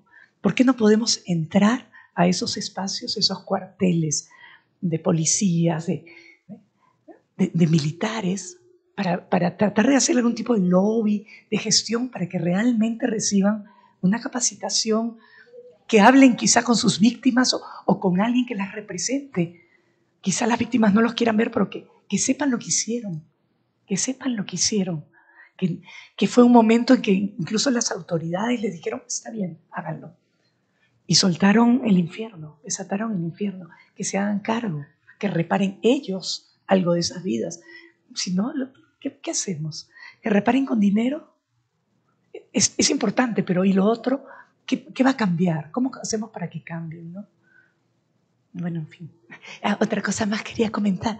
En la época de las organizaciones sociales de base dirigidas por mujeres, los 80s, 90s, en Biel Salvador había una líder, María Elena Moyano, y entonces eh, generó que en el caso de violencia contra las mujeres llevaran las mujeres unos silbatos y inmediatamente tocaban y entraban a agarrar a ese hombre y le daban duro. Es una, cosa popular, pero de todas maneras no es aislada, dependía de que habían organizaciones femeninas. Entonces no lo podemos hacer externamente, ¿no? Tenemos que apoyar que se vuelvan a reconstruir o identificar esas organizaciones populares y recordarles que entre muchas pueden apoyarse. Pero ellas tienen el poder, nosotros no, no lo, no lo podemos poner, ¿no? Solo hacerles recordar quizá. es para compartirles dos preguntas, les voy a hacer las dos y las respondemos. Una va como para Catalina y el tema lo estabas tocando precisamente, dice, desde el Museo de la Memoria, cómo se impacta en el derecho de educación de las libertades de las mujeres. Y la segunda, cómo influye la educación de género en los derechos femeninos. Pues esa sí va como para todas. Pues lo primero es entender que un museo y particularmente el Museo Casa de la Memoria no es simplemente un museo donde se narra la historia del conflicto y de las violencias que se han vivido en Medellín y en Antioquia, sino que es un espacio de interpelación y de reflexión en donde lo que se pretende es que el visitante salga con más preguntas de las que entró y que se pregunte primero una comprensión por lo que pasó, por qué, nos, qué fue lo que pasó, por qué nos pasó, Tal vez cuestionarse dónde estaba yo cuando eso pasó, porque pues está bien que nosotros no hayamos empuñado un fusil o tirado una granada, pero tal vez fue indiferente. No me enteré, ¿cierto? Eh, sentía que no era conmigo, entonces ¿dónde estaba yo? Pero sobre todo, ¿qué puedo hacer para que no se vuelva a repetir? Y el espacio que cada uno y cada una de nosotros habitamos, desde ahí sí podemos hacer algo. En ese sentido, las diferentes experiencias van dirigidas a una reflexión que toca todos los aspectos eh, y las afectaciones del conflicto. Hay unos que van dirigidos a grupos poblacionales como mujeres, campesinos, pueblos indígenas, comunidades como los periodistas, la educación en términos generales y hace una, una, interpelación también incluso al paisaje, cómo hasta el paisaje y la naturaleza se vio afectada por el, por el conflicto. Eso desde las exhibiciones, pero además de eso hay todos unos procesos pedagógicos y culturales que sustentan y apoyan, y particularmente en temas que parece que no tienen relevancia, pero constantemente, por ejemplo, hay recorridos dirigidos que van enfocados o a, a la violación de derechos eh, de las mujeres o de los eh, pueblos indígenas, acompañados de talleres de sensibilización, de charlas académicas, incluso hay una agenda de proyecciones de documentales y de películas que permiten llevar la discusión a otro nivel y está el, el, el, perdón, el centro de documentación eh, que es el mejor, la mejor biblioteca de derechos humanos que existe en, yo qué sé, querría decir que en Colombia, pero por lo menos en Antioquia es la primera y la más completa, y de ahí entonces se generan reflexiones y lo más importante es que se generan espacios de reflexión para niños, para jóvenes y para adultos, porque todos necesitamos tener esta reflexión. Si desde niños nos están enseñando, sensibilizando, eh, no seremos, esperamos que no seamos eh, responsables o victimarios o que en caso de, pues, o de presenciar una una vulneración de derechos, sepamos cómo responder, cómo activar una ruta, a quién decir, a quién acudir. Entonces, eh, digamos que todos los temas que tienen que ver con las violencias, y en Medellín se habla de violencias en plural, se abarcan no solamente desde las exhibiciones, pero también detrás de todo un andamiaje pedagógico y cultural, porque el arte permite nombrar lo innombrable, hablar de esto tan incómodo a través del arte es mucho más fácil, digamos que el dolor, el miedo nos impide hablar, pero una película, eh, no sé, una obra de teatro, un concierto, eso permite que sanar y también expresar entonces de, de esa eh, manera. Y no me voy a extender más, pero la educación es fundamental desde la casa, la guardería, primaria, secundaria y hasta postdoctorados. Yo incluso diría no la formación, sino la deformación. Porque lo que tenemos que hacer en temas de, de, la perspectiva de género, toda la epistemología feminista es deconstruir y eso es dificilísimo. Porque creo que la formación, o sea, yo doy profe de Derecho Constitucional, les enseño la tuta y la tata y es súper fácil. O sea, ahí no hay ningún problema pero además saben que soy la profe feminista y cuando llegan a clase me tienen que aguantar todo el semestre, pero es todo un trabajo durante el semestre decirle, hay pilas, que ese comentario sexista, ay, profe, pero es que, ¿cómo así? Si venga, o sea, es deconstruir que me, me parece mucho más tenaz porque todo está muy naturalizado. Ay, es que las mujeres se quejan más, pero es que mire tal cosa. Entonces, hacer conciencia de género, ponerle cifras, bajar eso a que hay que politizar la, la, la, la cotidianidad. Y, y, yo creo que en eso yo pedagógicamente hago mucho, es politicemos la cotidianidad y eso incomoda muchísimo porque revisarse es revisar su, sus relaciones, es revisar su familia, revisar la educación, la iglesia, todo. Y eso es, eso es una cosa horrible porque es desbaratar lo que me habían dicho que era así, de que además en este patriarcado volvemos y replicamos todo, así seamos mujeres y, cuestionamos y, valoramos el opresor. Entonces, eso es muy incómodo y por eso la apuesta es a, a deformar todos esos estereotipos, deformar esos roles, deformar toda esa discriminación y poder hablar de esto que a la gente le incomoda en serio, incomoda muchísimo hablar de estos temas, pero entre más lo podamos hablar, creo que más fácil podemos hacer reflexión de que, de que hay que romper paradigmas y que, y que, cierro con esto, cuando se habla de género no se habla de poca monta, se habla de las primeras relaciones de poder. Entonces siempre estamos cuestionando el poder, por eso incomoda tanto. O sea, no es como, y si usted habla de género y lo aplauden y quedó súper bien, hizo mal el trabajo, porque uno que está debatiendo cómo están las relaciones inequitativas de poder entre unos y otros y eso incomoda.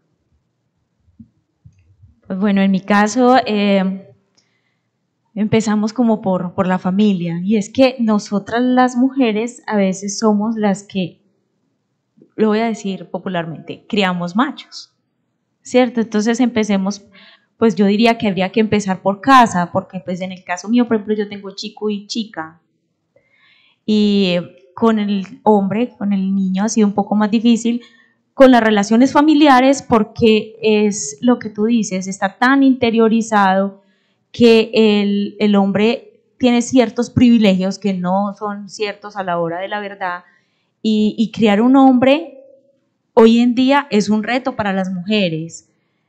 ¿Cierto? Porque es, es qué le voy a enseñar, qué le voy a transmitir a este chico para que él sepa que no debe tener muchas novias, que es solo una novia, porque a él no le gustaría que su novia tuviera muchos novios, ¿cierto? Entonces es como ese tipo de cosas que están tan insertados en nuestra cultura cotidiana de que el hombre puede tener varias novias, pero si la niña tiene varios novios, eso está muy mal hecho, ¿cierto? Entonces es hasta dónde, qué valores le estamos transmitiendo a nuestros hijos hombres y es una responsabilidad de todas las mujeres que decidimos en un momento determinado ser mamás. Y si no lo decidió y si le llegó por porque la vida es así, asúmalo. Asúmalo porque realmente eh, las mujeres antioqueñas hemos sido, digamos, eh, difusoras de ciertos valores culturales que no están bien, que están errados y hay que decirlo públicamente.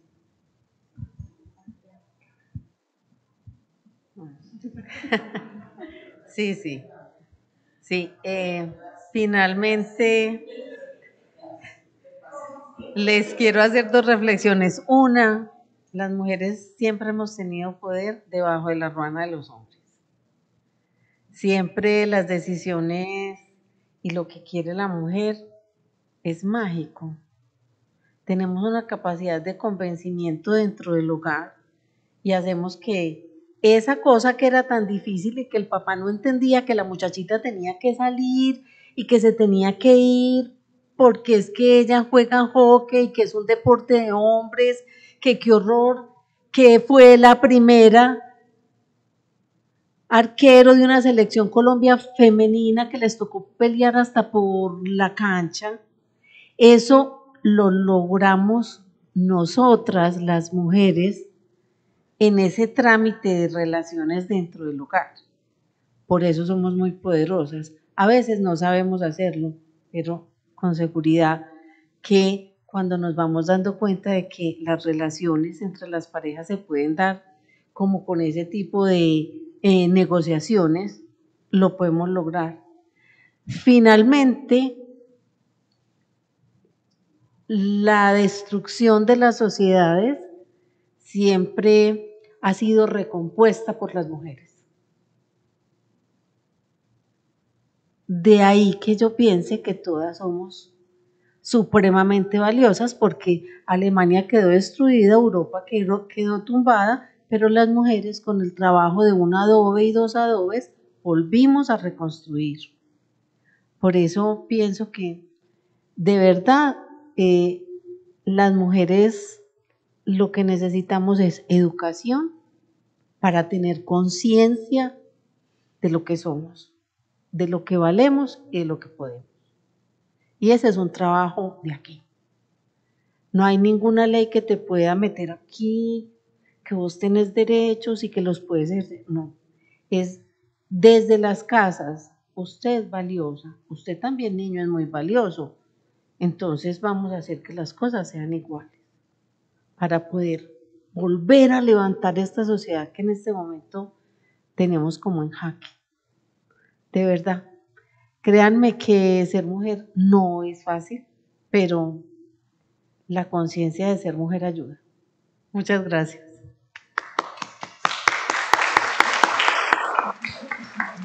Interesante. Eh, a todas las personas que estuvieron conectadas en YouTube, que nos acompañaron, bastantes personas conectadas, que fue me parece bastante llamativo el tema de que hayamos tenido tanto público en YouTube.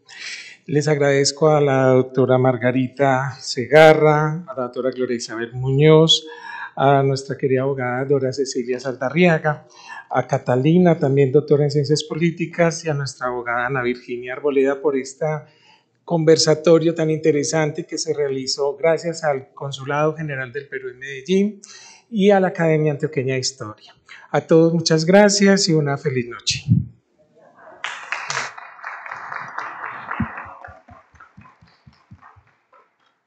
Academia Antioqueña de Historia, 120 años haciendo historia.